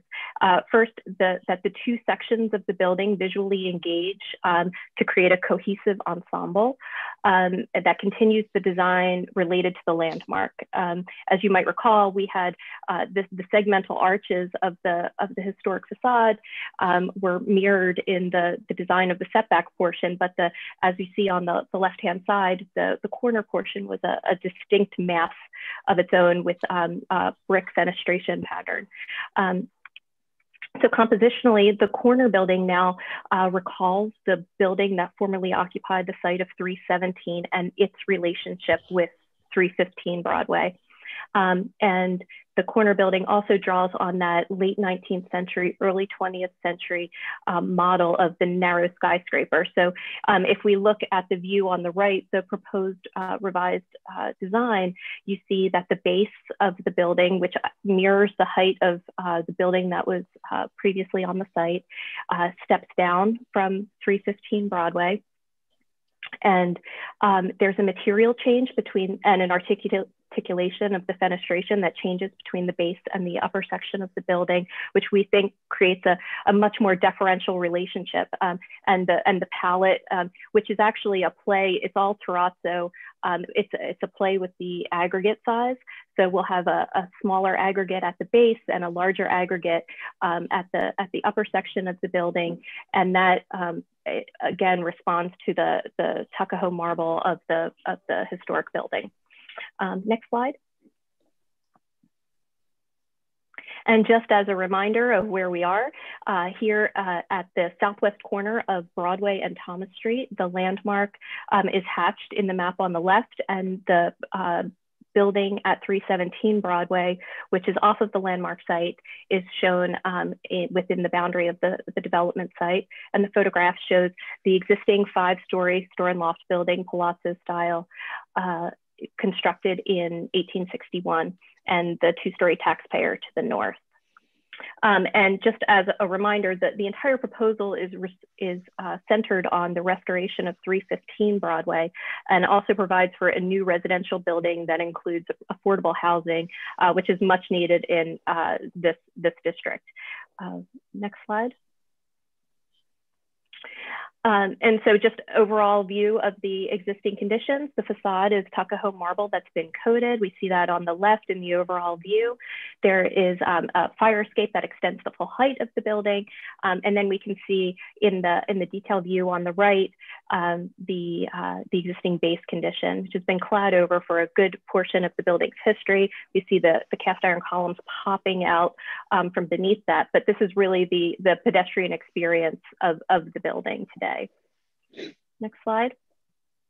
Um, based on Commissioner uh, Devonshire's comments at the, at the last hearing, um, we did a bit more investigation of the facade conditions. Jablonski uh, Building Conservation performed stripping samples uh, with a variety of products, um, and they, they did this in the area where the paint buildup was uh, most significant. Um, and we determined that the, the coating is removable um, and it doesn't, won't damage the underlying masonry. Um, in addition, we, um, David Abramson, who will be the restoration architect for the project, um, and Carl Colbreth of Pre Preserve Contractors, uh, both visited the site. and um, evaluated the stone, and both were comfortable that the, the stone was in good condition and could be conserved. Next slide. And then just to briefly walk through the, the proposed restoration again, uh, removing that coating from the, from the marble facade and cleaning, uh, repairing and consolidating as needed, repointing um, based on a mortar analysis, and then uh, removing that full height um, uh, non-historic fire escape there is uh, currently a combination of window configurations, and so that'll be all be replaced with new two over two windows to match the historic condition. And then at the base of the building, removing all of that non-historic cladding and infill, um, uh, restoring the existing cast iron. We are assuming that the capitals of the cast iron columns have been removed um, just to accommodate that cladding system. So uh, that'll all be replicated in uh, cast iron, which was also another of Commissioner Devonshire's uh, concerns. Um, and I think you might recall that the, the south pier has actually been shaved back and the, and the pilaster there is missing. It was cast iron, and so that'll all be replicated. Um, new new storefronts will be wood to match the historic uh, documentation. Next slide. Uh, and here we see the, the restored um, landmark in the context of the new building proposal. Um, and again, it re really reestablishes that pedestrian experience of the building, uh, but also with the addition of the new building to the north, really knits the street wall back together and um, anchors the corner and um, really reinstates what would have been a, a proper Broadway termination. Next slide. And then just a few views along uh, Thomas Street. On the left, we see Thomas Street looking west. Um, and on the right is looking over the existing 317 building toward the facade of 315. Um, as I mentioned, we're going to be preserving a greater extent of the historic building. Previously, it was 50 feet uh, of the building that was being restored within the development, and now uh, we've increased that to 73 feet 6 inches, and we'll look at that in uh, a bit more detail. Uh, the other important thing about this view is that this is the only view you have currently of the, the rear elevation, and it's a very limited view, and any construction beyond what exists today today at 317 Broadway would obscure the view entirely of, of that, that rear elevation. Um, next slide. Uh, with regard to the removal of the, the rear, uh, rear portion of the building, uh, we found that buildings historically um, of this age and type did exist on smaller footprints. Um, so reducing the depth of the building um, into the block would not compromise the legibility as a store and loft building, um, as we see in these examples, all in lower Manhattan, primarily on West Broadway and, and Church Street. Next slide. And so here we see the uh, the previous proposal. This is the the axons that really explained the um, the volumetrics of what was happening for the previous proposal. Again, uh, maintaining 50 feet of uh, the, the landmark building, reconstructing 20 feet within the overall uh, development for the uh, commercial section of the building, and then treating the two sections of the um, residential development as uh, distinct masses. And that has evolved um, as part of our um, addressing your comments. Next slide. And then just to get into the details a bit more of um, the area to be retained as part of the uh, of the landmark to be retained as part of the new construction. You can see here, previously it was the, the first 50 feet of the, of the building. Now that has increased to 73 feet, six inches. So the area to be removed, which was previously approximately 40 feet, is now reduced to 16 feet. Um, and um, Morris can talk to you more specifically, but there are some code, code issues that we're working through that really um, drive this, this, um, uh, this extent. So next slide. And here we see the two proposals compared uh, with the previously proposed on the left and the currently proposed on the right. Uh, so again, that uh, 73 feet, um, 73 and a half feet of the existing landmark to be retained within the overall development increased from just 50 before. Um, and then treating the two sections of the massing um, as, a, as a unified composition, which again is a significant change.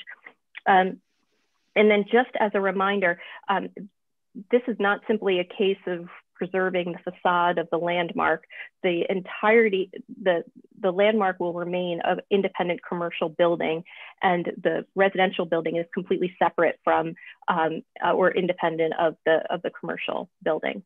Next slide. Um, we had a very long history um, uh, that we discussed the, the last hearing. Um, and so this sheet basically summarizes all of that. Um, and uh, the um, uh, site historically had three distinct phases of development, uh, which we see here that expressed the visionary and ambitious character of the, of the context for this proposal.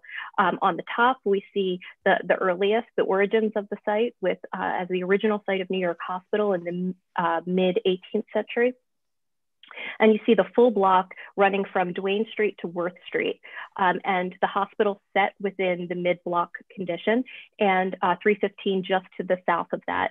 And so this introduces that idea of uh, looking beyond the Broadway street wall to something more. Um, and then in the late 19th century, uh, the blocks were divided and um, Thomas Street was extended through the site.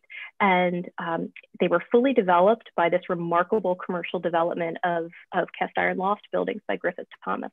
And um, for the textile trades. And uh, here we see the increasing density of the city.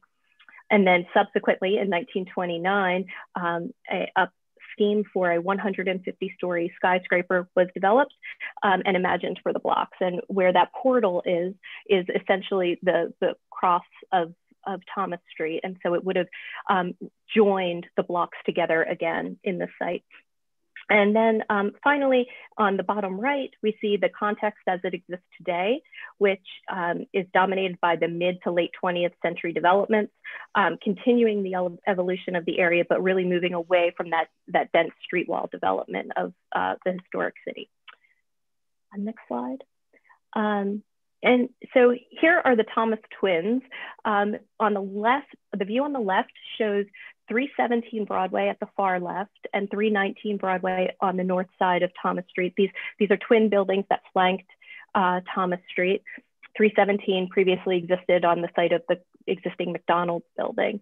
And um, they framed Thomas Street.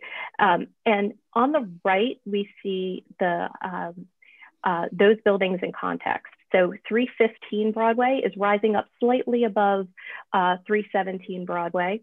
Um, and uh, that's uh, all reading against this eclectic scale and, and dense character of, of Broadway in that view. So next slide. Um, so, and, and here we see that direct relationship between 315 and 317 Broadway.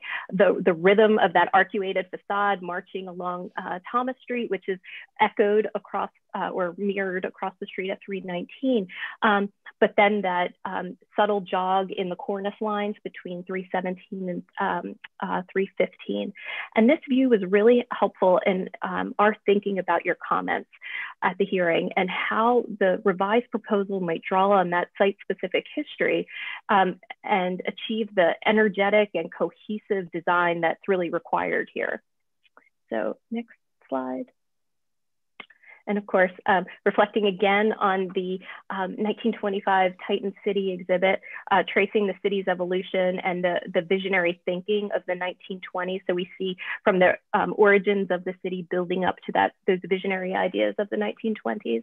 Um, and so this collage and its, its rich layers really represent all of the generations of development that have that are deeply embedded in the site um, and that what we're building this proposal on today. Next slide. Okay, and so just to sort of dig into the details of, um, of the design changes and the inspiration for, for our revised proposal, um, the 317 site, which is off of the landmark site, is um, fairly narrow. It's 25 feet wide and extends 105 feet into the block. Um, and so it has very narrow frontage on Broadway. So we looked at how these sites were developed historically. Uh, first with this fantastic illustration by Thomas Nast in 1898, um, which really, um, it's a bit of a caricature, but it really is illustrating the developing city and how we think about buildings superimposed on other buildings.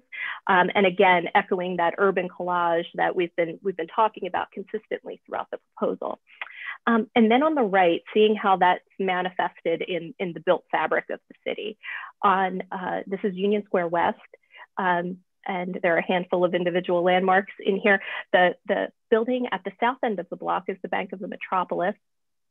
Again, pretty comparable con conditions to um, uh, 317 Broadway. But what's really fascinating about this is that three, um, the Bank of the Metropolis extends all the way back, um, is L-shaped in plan, and the building on the north end of the block is also L-shaped in plan, and they joined. It was part of the, the intent of this, this, this composition that they have this U-shaped plan. Um, and, and then that's all, of course, juxtaposed with the lower scale infill along, along the um, Union Square West frontage. But it's this amazing example of the inventive urbanistic compositions that really characterize New York City. Um, and so then building on that, next slide, please. Um, we looked at um, other buildings of this type in the city. Um, tall buildings between 12 and 14 stories on narrow sites, so comparable conditions to, to 3, 317 Broadway.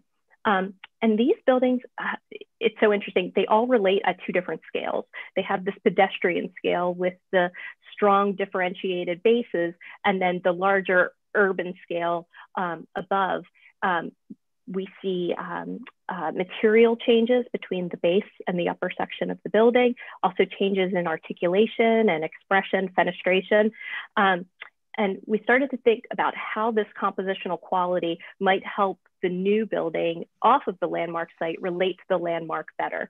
Um, and so here I'm going to um, pass the presentation over to Morris and um, ask him to sort of dig into the details with you of the, the design proposal. Thank you, Aaron. Um, good morning. Um, thank you, Chair Carroll, Commissioners, staff, and Brian for the introduction. Um, as Aaron mentioned, we uh, responded to the comments as, a, as they pertain to the historic structure, but I believe also the comments really improve the overall design um, and relate the way the building relates to 315, the landmark, um, the context, as well as uh, 319, which was previously a twin uh, for 317. Um, Nick, next slide, please. Um, so the previous slide was a summary of uh, four tall corner buildings that we looked at. Um, we dove in a little further and broke down those buildings and noticed that they were organized in typical base, and top with separate tiers. We also noticed that those were further broken down, and we used that approach um, on our uh, scheme as well. Um, so you can see similar breaking down of these uh, tiers um, with particular, um, uh, oh, we'll get to ours in a second, one more. Um, and in the, in the next uh, slide after this, um, you can see uh, our proposed corner building, uh, which is really knitted back into this overall ensemble, I think much better now in terms of the materials and the, also the overall organization. And as Aaron mentioned, and you'll see in a few minutes, uh, the height of the, that base, that um, uh, lower portion relates to 319, but also pays deference to 315. Um, and um, we have a, a, a sketch here, um, which shows those three tiers. You can see here, and you'll see um, in the next slide as well, uh, that the height of um, the lower portion relates to 319 across the street. Um, and has uh, a series of arches at the base, um, round topped arches that then morph into the flat top uh, sculpted elliptical arches as it moves up. We've um, uh, accentuated the string courses that separate those um, individual uh, tiers as well as the sub uh, sections of those tiers as well. Um, and you can see that the height here uh, aligns, although it's not a twin, it is definitely has a familial relationship to the building across Thomas Street. Um, we're proposing uh, a um, precast terrazzo material with uh, stone uh, in the matrix uh, with a slightly smaller um, uh, aggregate on the lower portion. So that'll read a little darker than the upper portion, but we're looking to use the same material and we feel like that is appropriate for the position of those um, precast elements on the facade. And so uh, the lower portion uh, is on the left, uh, which shows the uh, darker uh, material and the upper portion and the setback portion on the right. Um, and I'll get into the details of the facade a little bit now. Um, here's a sketch showing the, um, the building um, in the site, which reminds us of some of the drawings that uh, Aaron showed earlier from the Titan exhibition. So um, in the next shot, we see the, the rendered view. You can see how the, the base element of the building relates to 319 uh, just to the north, um, as well as allows the cornice of 315 um, to be more prominent. Um, and the arches uh, start as elliptical arches on the lower, on, the, on the base, uh, then the round topped arches, and then uh, to the flat top arches. And we crowned uh, both um, buildings with a string course, um, arched windows, and an accentuated cornice. Um, the details uh, we'll see now. Um, on the left is the existing condition. The center was a previous uh, proposal, and I think you see the more harmonious relationship on the right, what we're proposing now um, in the um, in this next image. This is uh, the, restore, the, the, the, proposed restored uh, storefront for 315, which is based both on observations at the site as well as renders that we have um, from uh, the late 1800s. Um, this is a proposed base uh, for our building with the precast elements. The, the setback on the, for the glass is about, is 10 inches. Um, and then all of the cornices project beyond that. So at those points, we have uh, over a foot of depth, um, as you can see from the edge of those uh, projections to the uh, face of the glass. Um, this is the next, uh, the, the tier above the storefront with the round top windows, double hung windows, um, and um, the precast elements. Uh, in the next uh, image, uh, this is the second tier um, above with the flat top windows, but the arches at the, so that would sort of torque out um, and become uh, an arch uh, element at the precast edge, um, which you can see uh, both on the left and um, on, the, on the little um, rendered elevation on the right. Um, and then uh, one other comment that came up at the previous uh, hearing um, was a, a, question about the articulation of the south uh, facade. And we're proposing to uh, do the same articulation as we're showing on Thomas Street, with a blind facade, so there won't be any windows there. And that has a four inches of setback between the infill panel um, and the outside of the pilasters. Um, uh, here we see the two cornices at the top of the corner building as well as the top of the setback portion.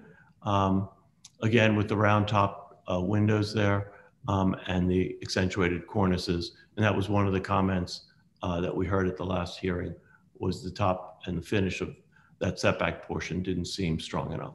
And so we've accentuated that. Um, uh, and now we have a series of views of the building uh, with the existing on the left, the previously proposed in the center, and what we're proposing now on the right. And um, I believe that the color change, um, as you can see here, is uh, works better with the overall ensemble um, and the streetscape. Uh, next image. Uh, this is looking northwest. Um, you see the setback portion, I think works well uh, with the new corner uh, design and articulation. Next. Um, and this is looking straight west, which is um, a pretty open view. And I think this also works well here. And then we have a few more views here um, looking south, uh, which is similar to the view we saw before, but you can compare it to the previous uh, design. And uh, this is, uh, I believe, the last one looking south.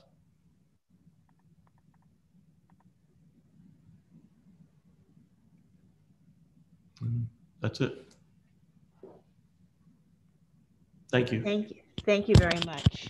All right, commissioners, questions. Commissioner Goldblum, please go ahead. Hi, thank you. Um, a couple of questions. Can you talk a little bit about the um, uh, efforts to preserve the structure on the historic building and um, explain the um, incursion into the envelope beyond the 75 foot point? Um, and also just talk about why, if you have, you know, it's basically kind of, you know, one ensemble, why you couldn't do windows on your, on your, on your south part, on your south wall of your mid-rise, mid-height building? Okay. Um, I'm going to let Nick respond to some of the code requirements and issues as it pertains to um, uh, the removal and the retention of the portion of the rear of 315, and then I can respond to some of the other comments about the windows and the um, the overall design. Nick? Right. So the, the you know, what we're calling um, sort of the build back portion of the landmark would consist um, almost entirely of stairs, elevators, uh, code requirements for for bathrooms and that sort of thing that all all service um, the the office commercial use of the the landmark itself. So um, you know when we when we took another look at this, um, you know we realized well it was the non-combustible material under the um, new development that was really the issue. So we maintained um, as much of the, or excuse me, as the combustible material that was the issue. So we maintained as much of the non-combustible material, the brick, the lot line walls, as was possible for the plan, and that um, would would really encompass and uh, those new elements that that help to to serve the the future use of the landmark.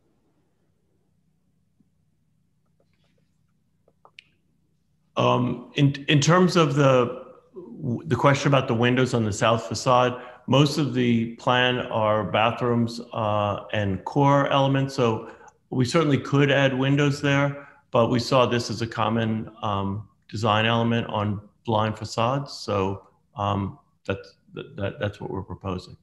We certainly could have a few windows, but we felt like it was stronger as one um, composed elevation. Thank you. Okay, other questions? Commissioner Jefferson, please go ahead. Um, I, I understand the handling of the facade, but one of your strongest point of your proposition is the overlap of the two towers, the kind of overlapping of them. Explain to me why, what, why that gesture, um, which is very strong, um, how, how did that come about in terms of, of, of your design? In terms of the um, interaction between the corner building and the setback building? Correct. The, uh, the, the modern overlap that you have there, which is, Yeah. which is quite dominant, it's powerful. Yeah, um, I, you know, as, as Aaron mentioned, we looked at some of the L-shaped buildings and the way that those worked. Uh, originally, we we felt that that corner building was um, uh, better as a quieter statement that allowed the setback portion and the um, uh, landmark to work together. But I think in hindsight and after the comments that we heard at the last hearing, that it works much better with those um, three working together as a, as a as a unified ensemble. And I think that corner condition is accentuated by using the same window treatment and materials on those two portions of the building. I, I think it works very well. And, and my, my concern was the overlap with the fenestration uh, repetition. You know, I think you resolved it. I think I just wanted to know what was the thinking behind it. Uh, thank you. Thank you. Thank you. Commissioner Chen?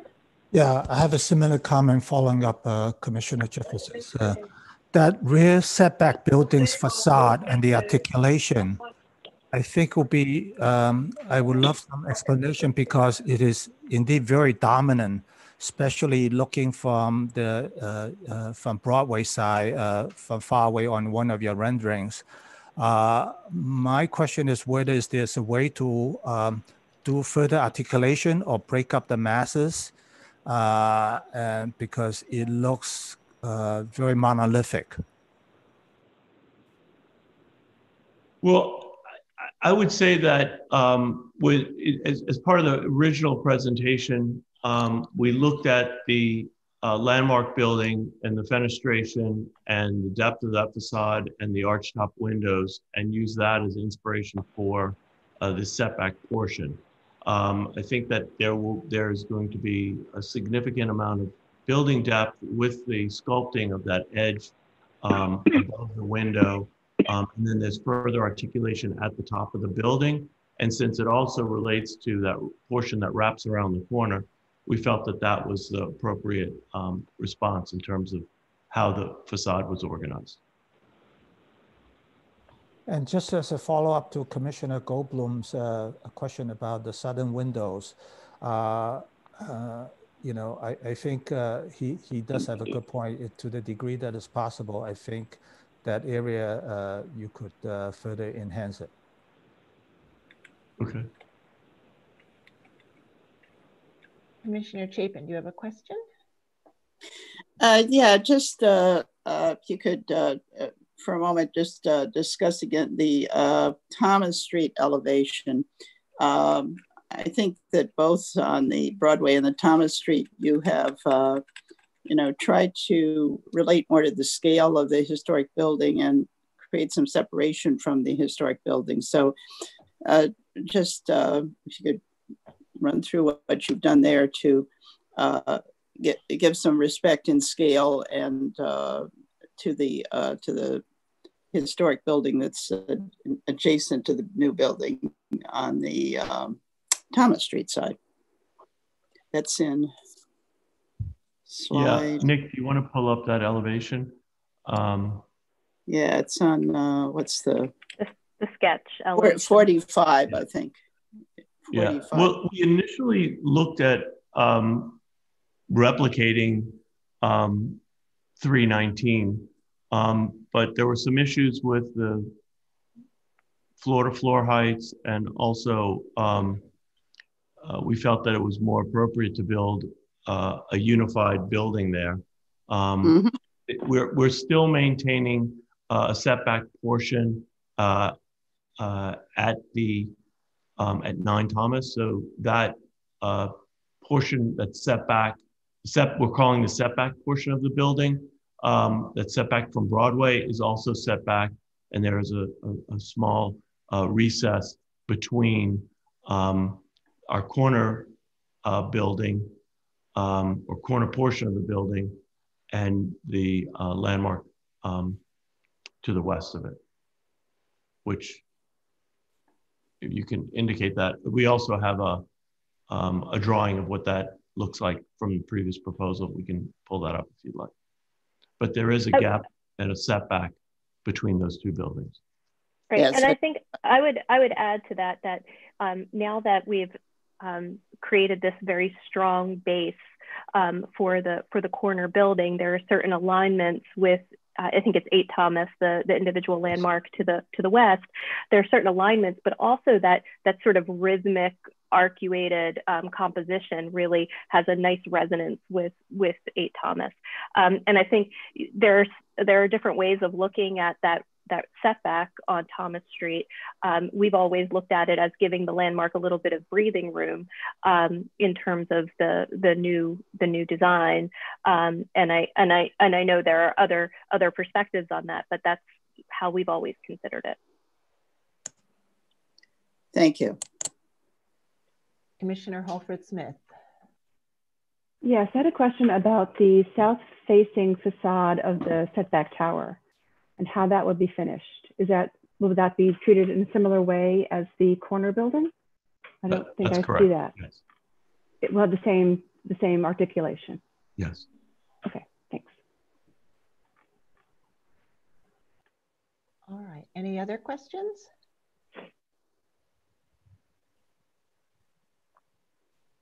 All right, not seeing any questions. I think we can move to our discussion. So I am now starting to unmute you all or request to unmute you. So look for that. And um, I want to thank uh, the applicants for their presentation today. And, um, you know, I think at our last public hearing, um, we had a, a, very interesting discussion about siting. A, Sarah, you, you, you want to close the, uh, oh, I guess you don't have to, never mind. Yeah. Thanks. trip me up now. um, we had an interesting discussion about siting um, new buildings on the back of landmark sites and, and how one could set it back to to have it read as something else. And the applicants um, presented um, examples of corner buildings that wrapped building uh, shorter buildings um, in this neighborhood along Broadway. Um, they also showed the depth of some of the other smaller buildings to show that the amount of depth being left here was still consistent with some of the smaller buildings on the district. And I think that for many of the commissioners, the conceptually this um, scheme seemed to be um, approvable, but there were some concerns about the amount of fabric being retained, and, and uh, the applicants were asked to explore um, retaining more historic fabric. Um, and then there were a lot of comments about the design and how um, the design was sort of articulated as two different things, and could it be more of an ensemble, uh, more of a comprehensive approach to the design so that all three elements in this composition had a relationship to each other. Um, and then there were some other comments about massing and um, sort of referencing the original height.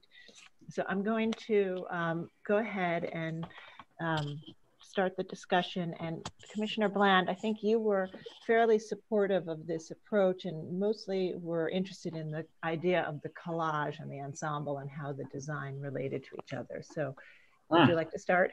Well, thank you for reminding me of what I was interested in. And I was just going to use the word collage again in my uh, in my uh, uh, thoughts right now. Um, I want to suggest, um, first of all, that um, Morris has has given us, I would say, yet again, um, kind of a master class in analysis of the existing condition and existing context, and um, uh, you do it Morris, I think, as well as anybody that uh, that comes before us. And I think analysis of the context is, is critical. But if you can't go beyond the context with something creative and interesting as a new building, then you're kind of stuck with replication or something like that. And um, and of course, we don't have that here. Uh, but I just want to uh, uh, kind of point out the value of a deep dive into the context of uh, of the surrounding uh, vernacular. Um, I, I, I, do think that this is an, an inspired and, and, and deeply uh, intellectually uh, grounded uh, uh, proposal now. I think the change of, of color adds a lot. I'm, I'm not sure what I said before. I might have even said I like the old two two tone t- scheme, but I think this is is better. It works as an ensemble.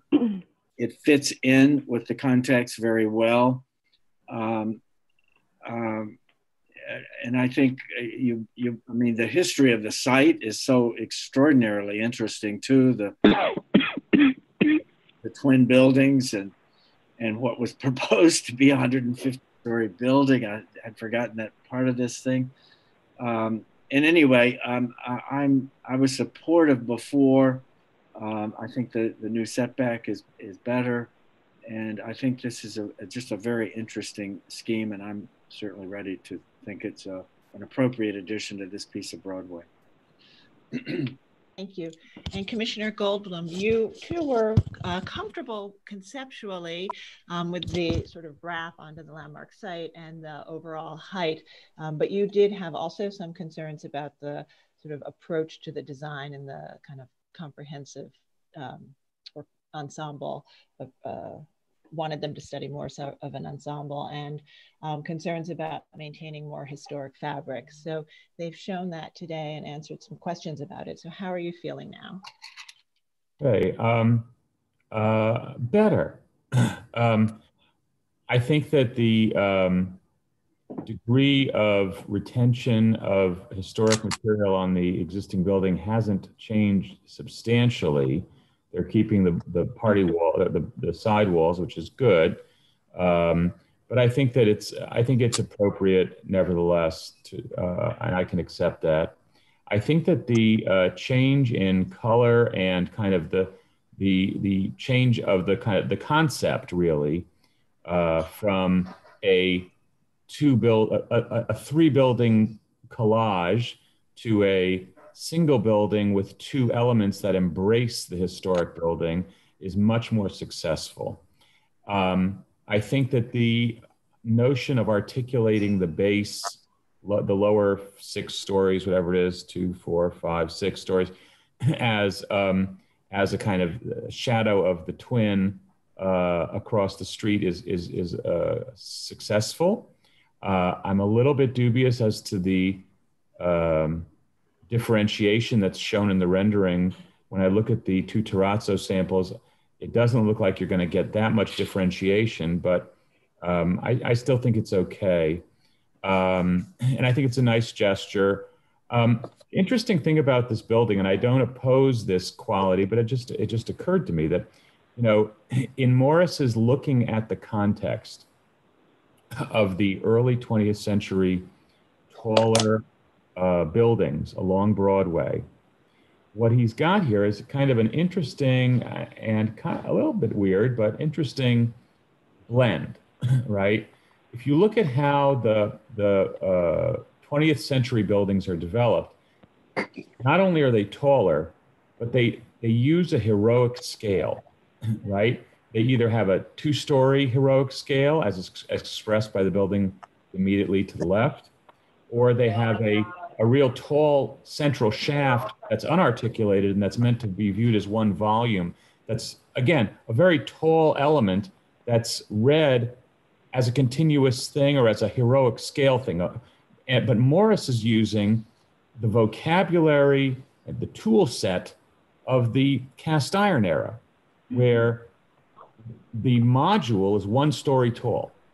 Right? If you look at if you look at you know his shaft space, it's all these one story tall, you know, aediculae with with you know post post and little arch top, and and the module is really very small, and it kind of it's it's kind of like a it's, it's not really a it's not really a modern version of the 19 of the 20th century buildings.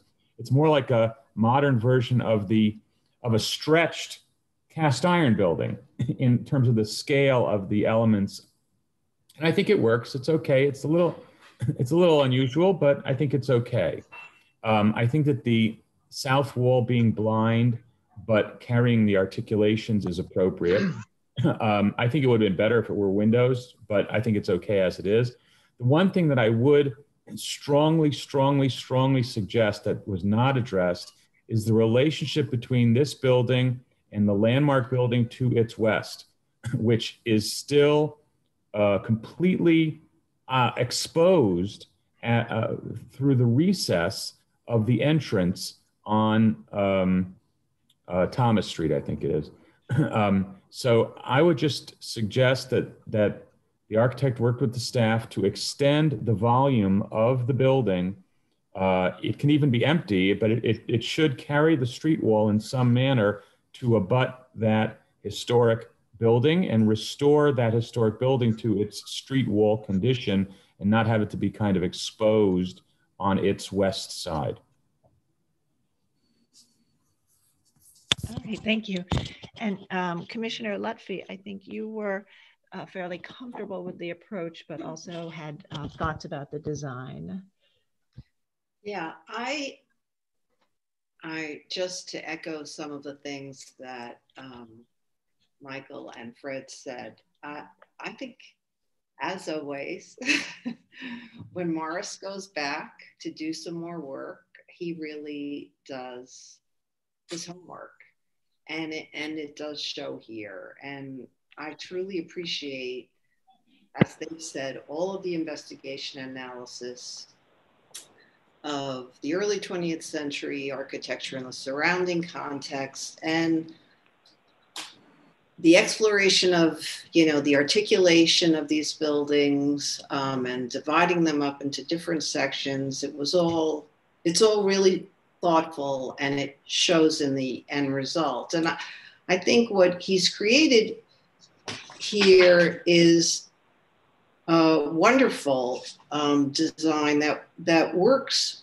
well as an ensemble and yet um, the two buildings on the, the building on the corner and the original uh, and the original landmark structure also stand on their own. And, and that's wonderful because that is what the streetscape is all about. And then the articulation on with within the mass itself follows the rhythm um, that exists in the in the landscape of the street, which is is wonderful.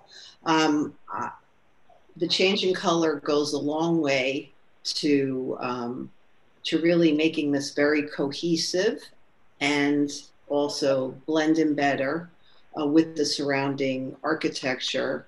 I'm so glad that um, so much uh, fabric was able to be retained and the the project works so much better now at the street level um, as a result of that. And it also obviously is uh, you know the the uh, landmark the smaller building seems very well preserved.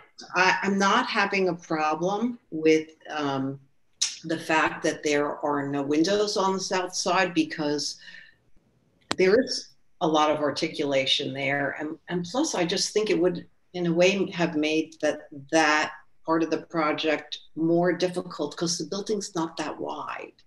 So if you put, uh, you know, on a wider building like the one uh, further down on the street here, you can accommodate that because you can put your core in different places. But I think it would have made it more diff- difficult here.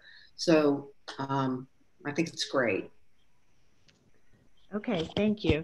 And I know Commissioner Chen, you had a thought or a question about those windows, but having heard the answer about the core and some of the other thoughts, how yeah. are you feeling now?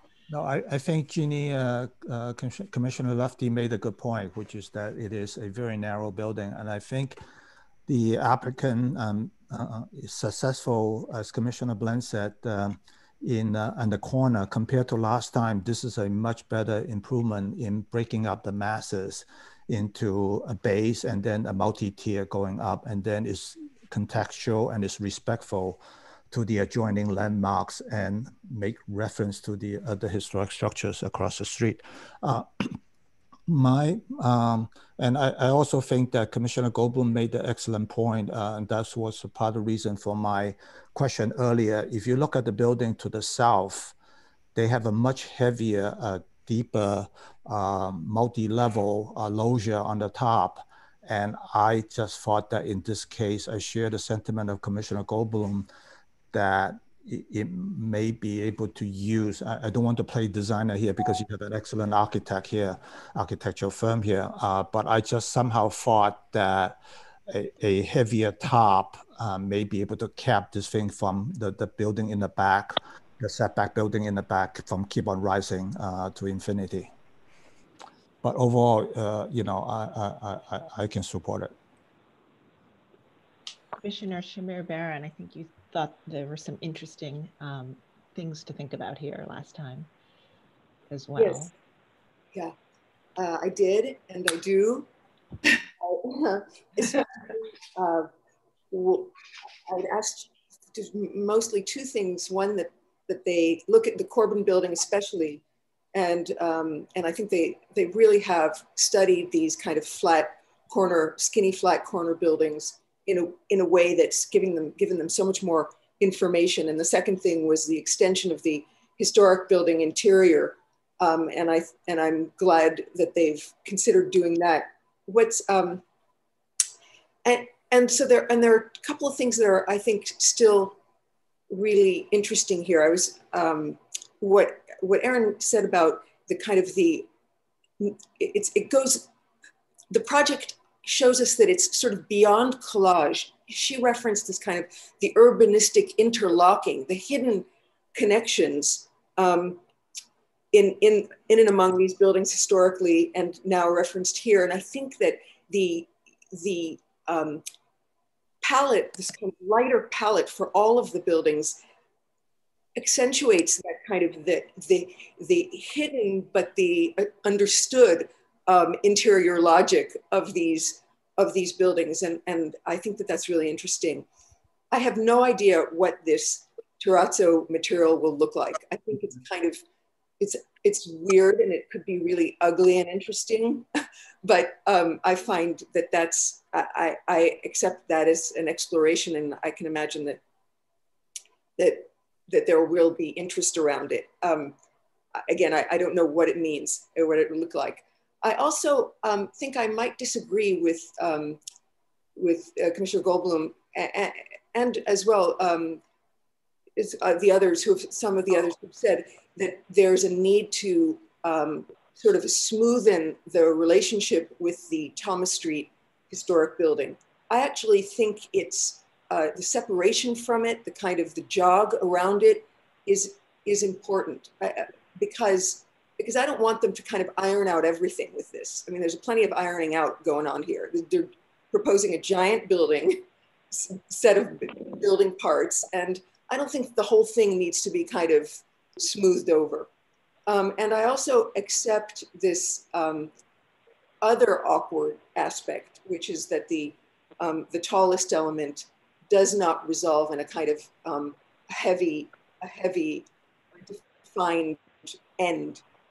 I think that there is this kind of expression of, you know, we could, have, we would have gone taller if we could have.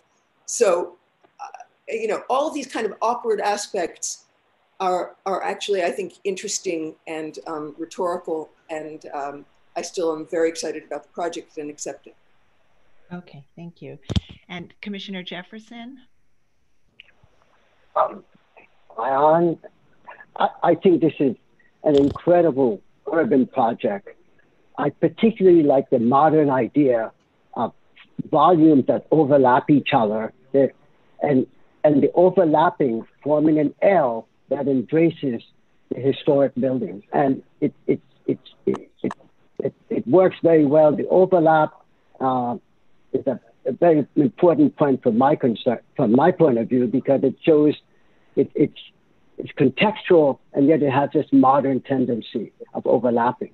Um, I, I wrote notes here um, a well resolved facade, proportions, repetition of elements and patterns are very well resolved. I particularly like the analysis of the building facade references that they did before. I think is an instructive way of looking at the context. And um, and I, I, I found it admirable that the, they referenced the 319 Broadway building across the street in the facade. You know, so they, I mean, this is intellectually and, and architecturally a very rich project. Therefore, I approve it. All right, and Commissioner Gustafson? Um, I have no um, criticism of, of, of the design. Um, my original objections were not about the design and, and they remain the same as they were before. Um, they're about the concept and the concept is about uh, what we're doing to um, a significant section of an individual landmark. Um, and this is what it seems that it's come to. We're, we're not talking about putting rooftop additions on an individual landmark or building uh, uh, a, a, uh, a, tall structure in an historic district, but we're talking about putting that, um, that tall structure right directly on top of that individual landmark. Um, uh, the, as I said the first time, it's, it's, it buries the individual landmark and the individual landmark is overwhelmed. Um, we've moved from what we called last time flagrant facadism to just regular old vanilla, regular facadism now. Um, and uh, so I can't, I can't, uh, I have nothing bad to say about the design, but I, I can't accept the concept. Thank you. Commissioner Holford-Smith?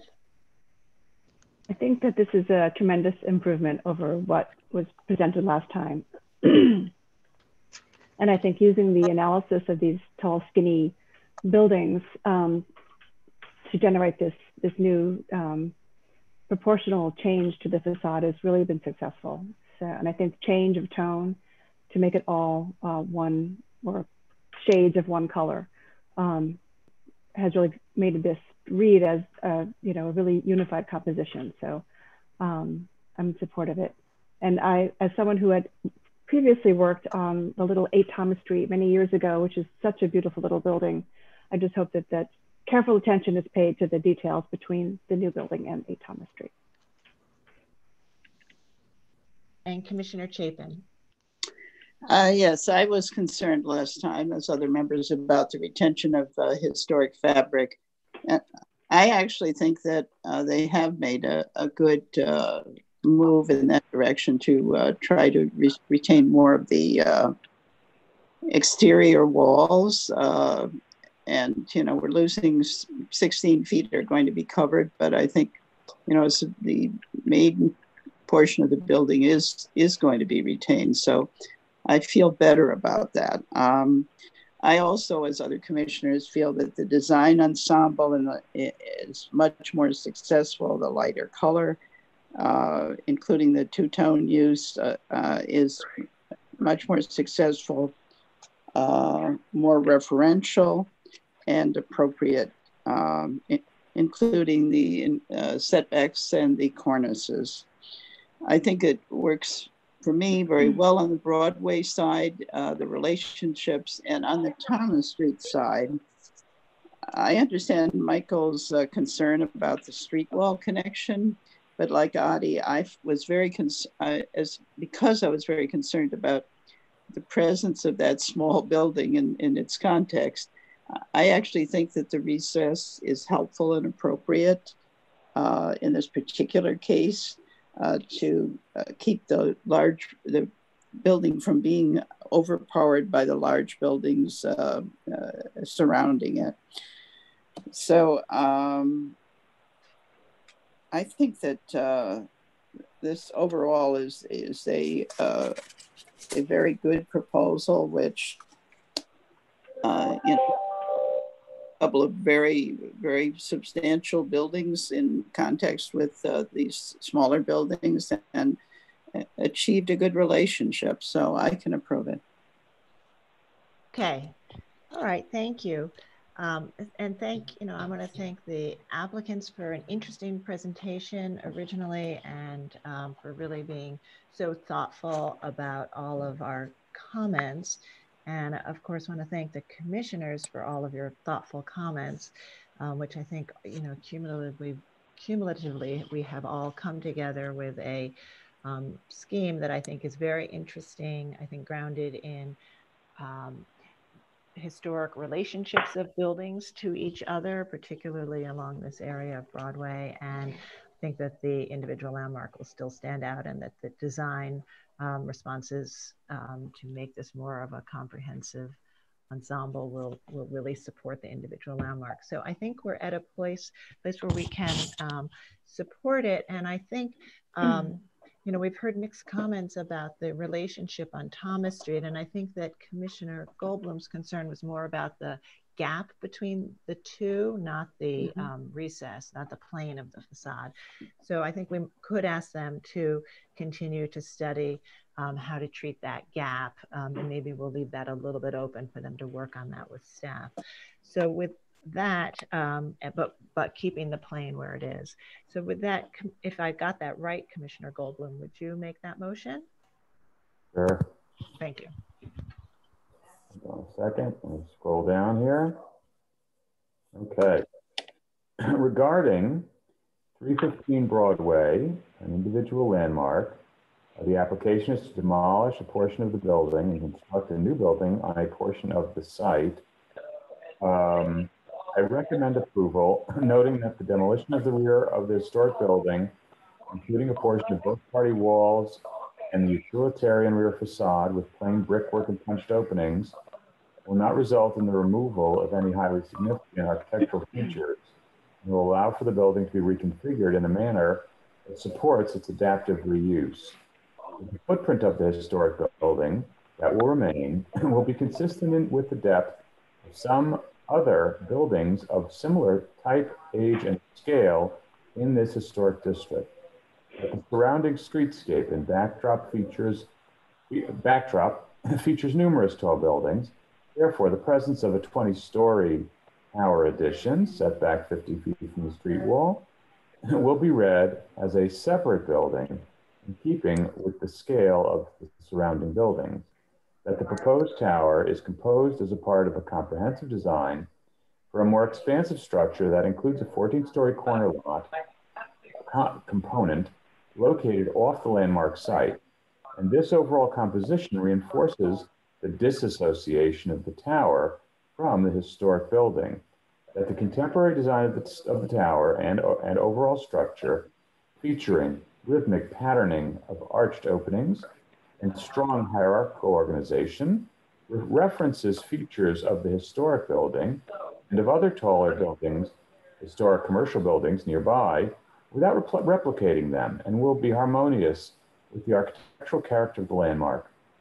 That the materials and finishes of the tower and overall stru- structure, featuring precast concrete terrazzo, varying light gray mixtures at the street facing facades, gray brick at the lot line walls, and medium gray windows and storefronts throughout, will clearly distinguish it from the historic building while being compatible with historic stone and cast iron elements of the landmark.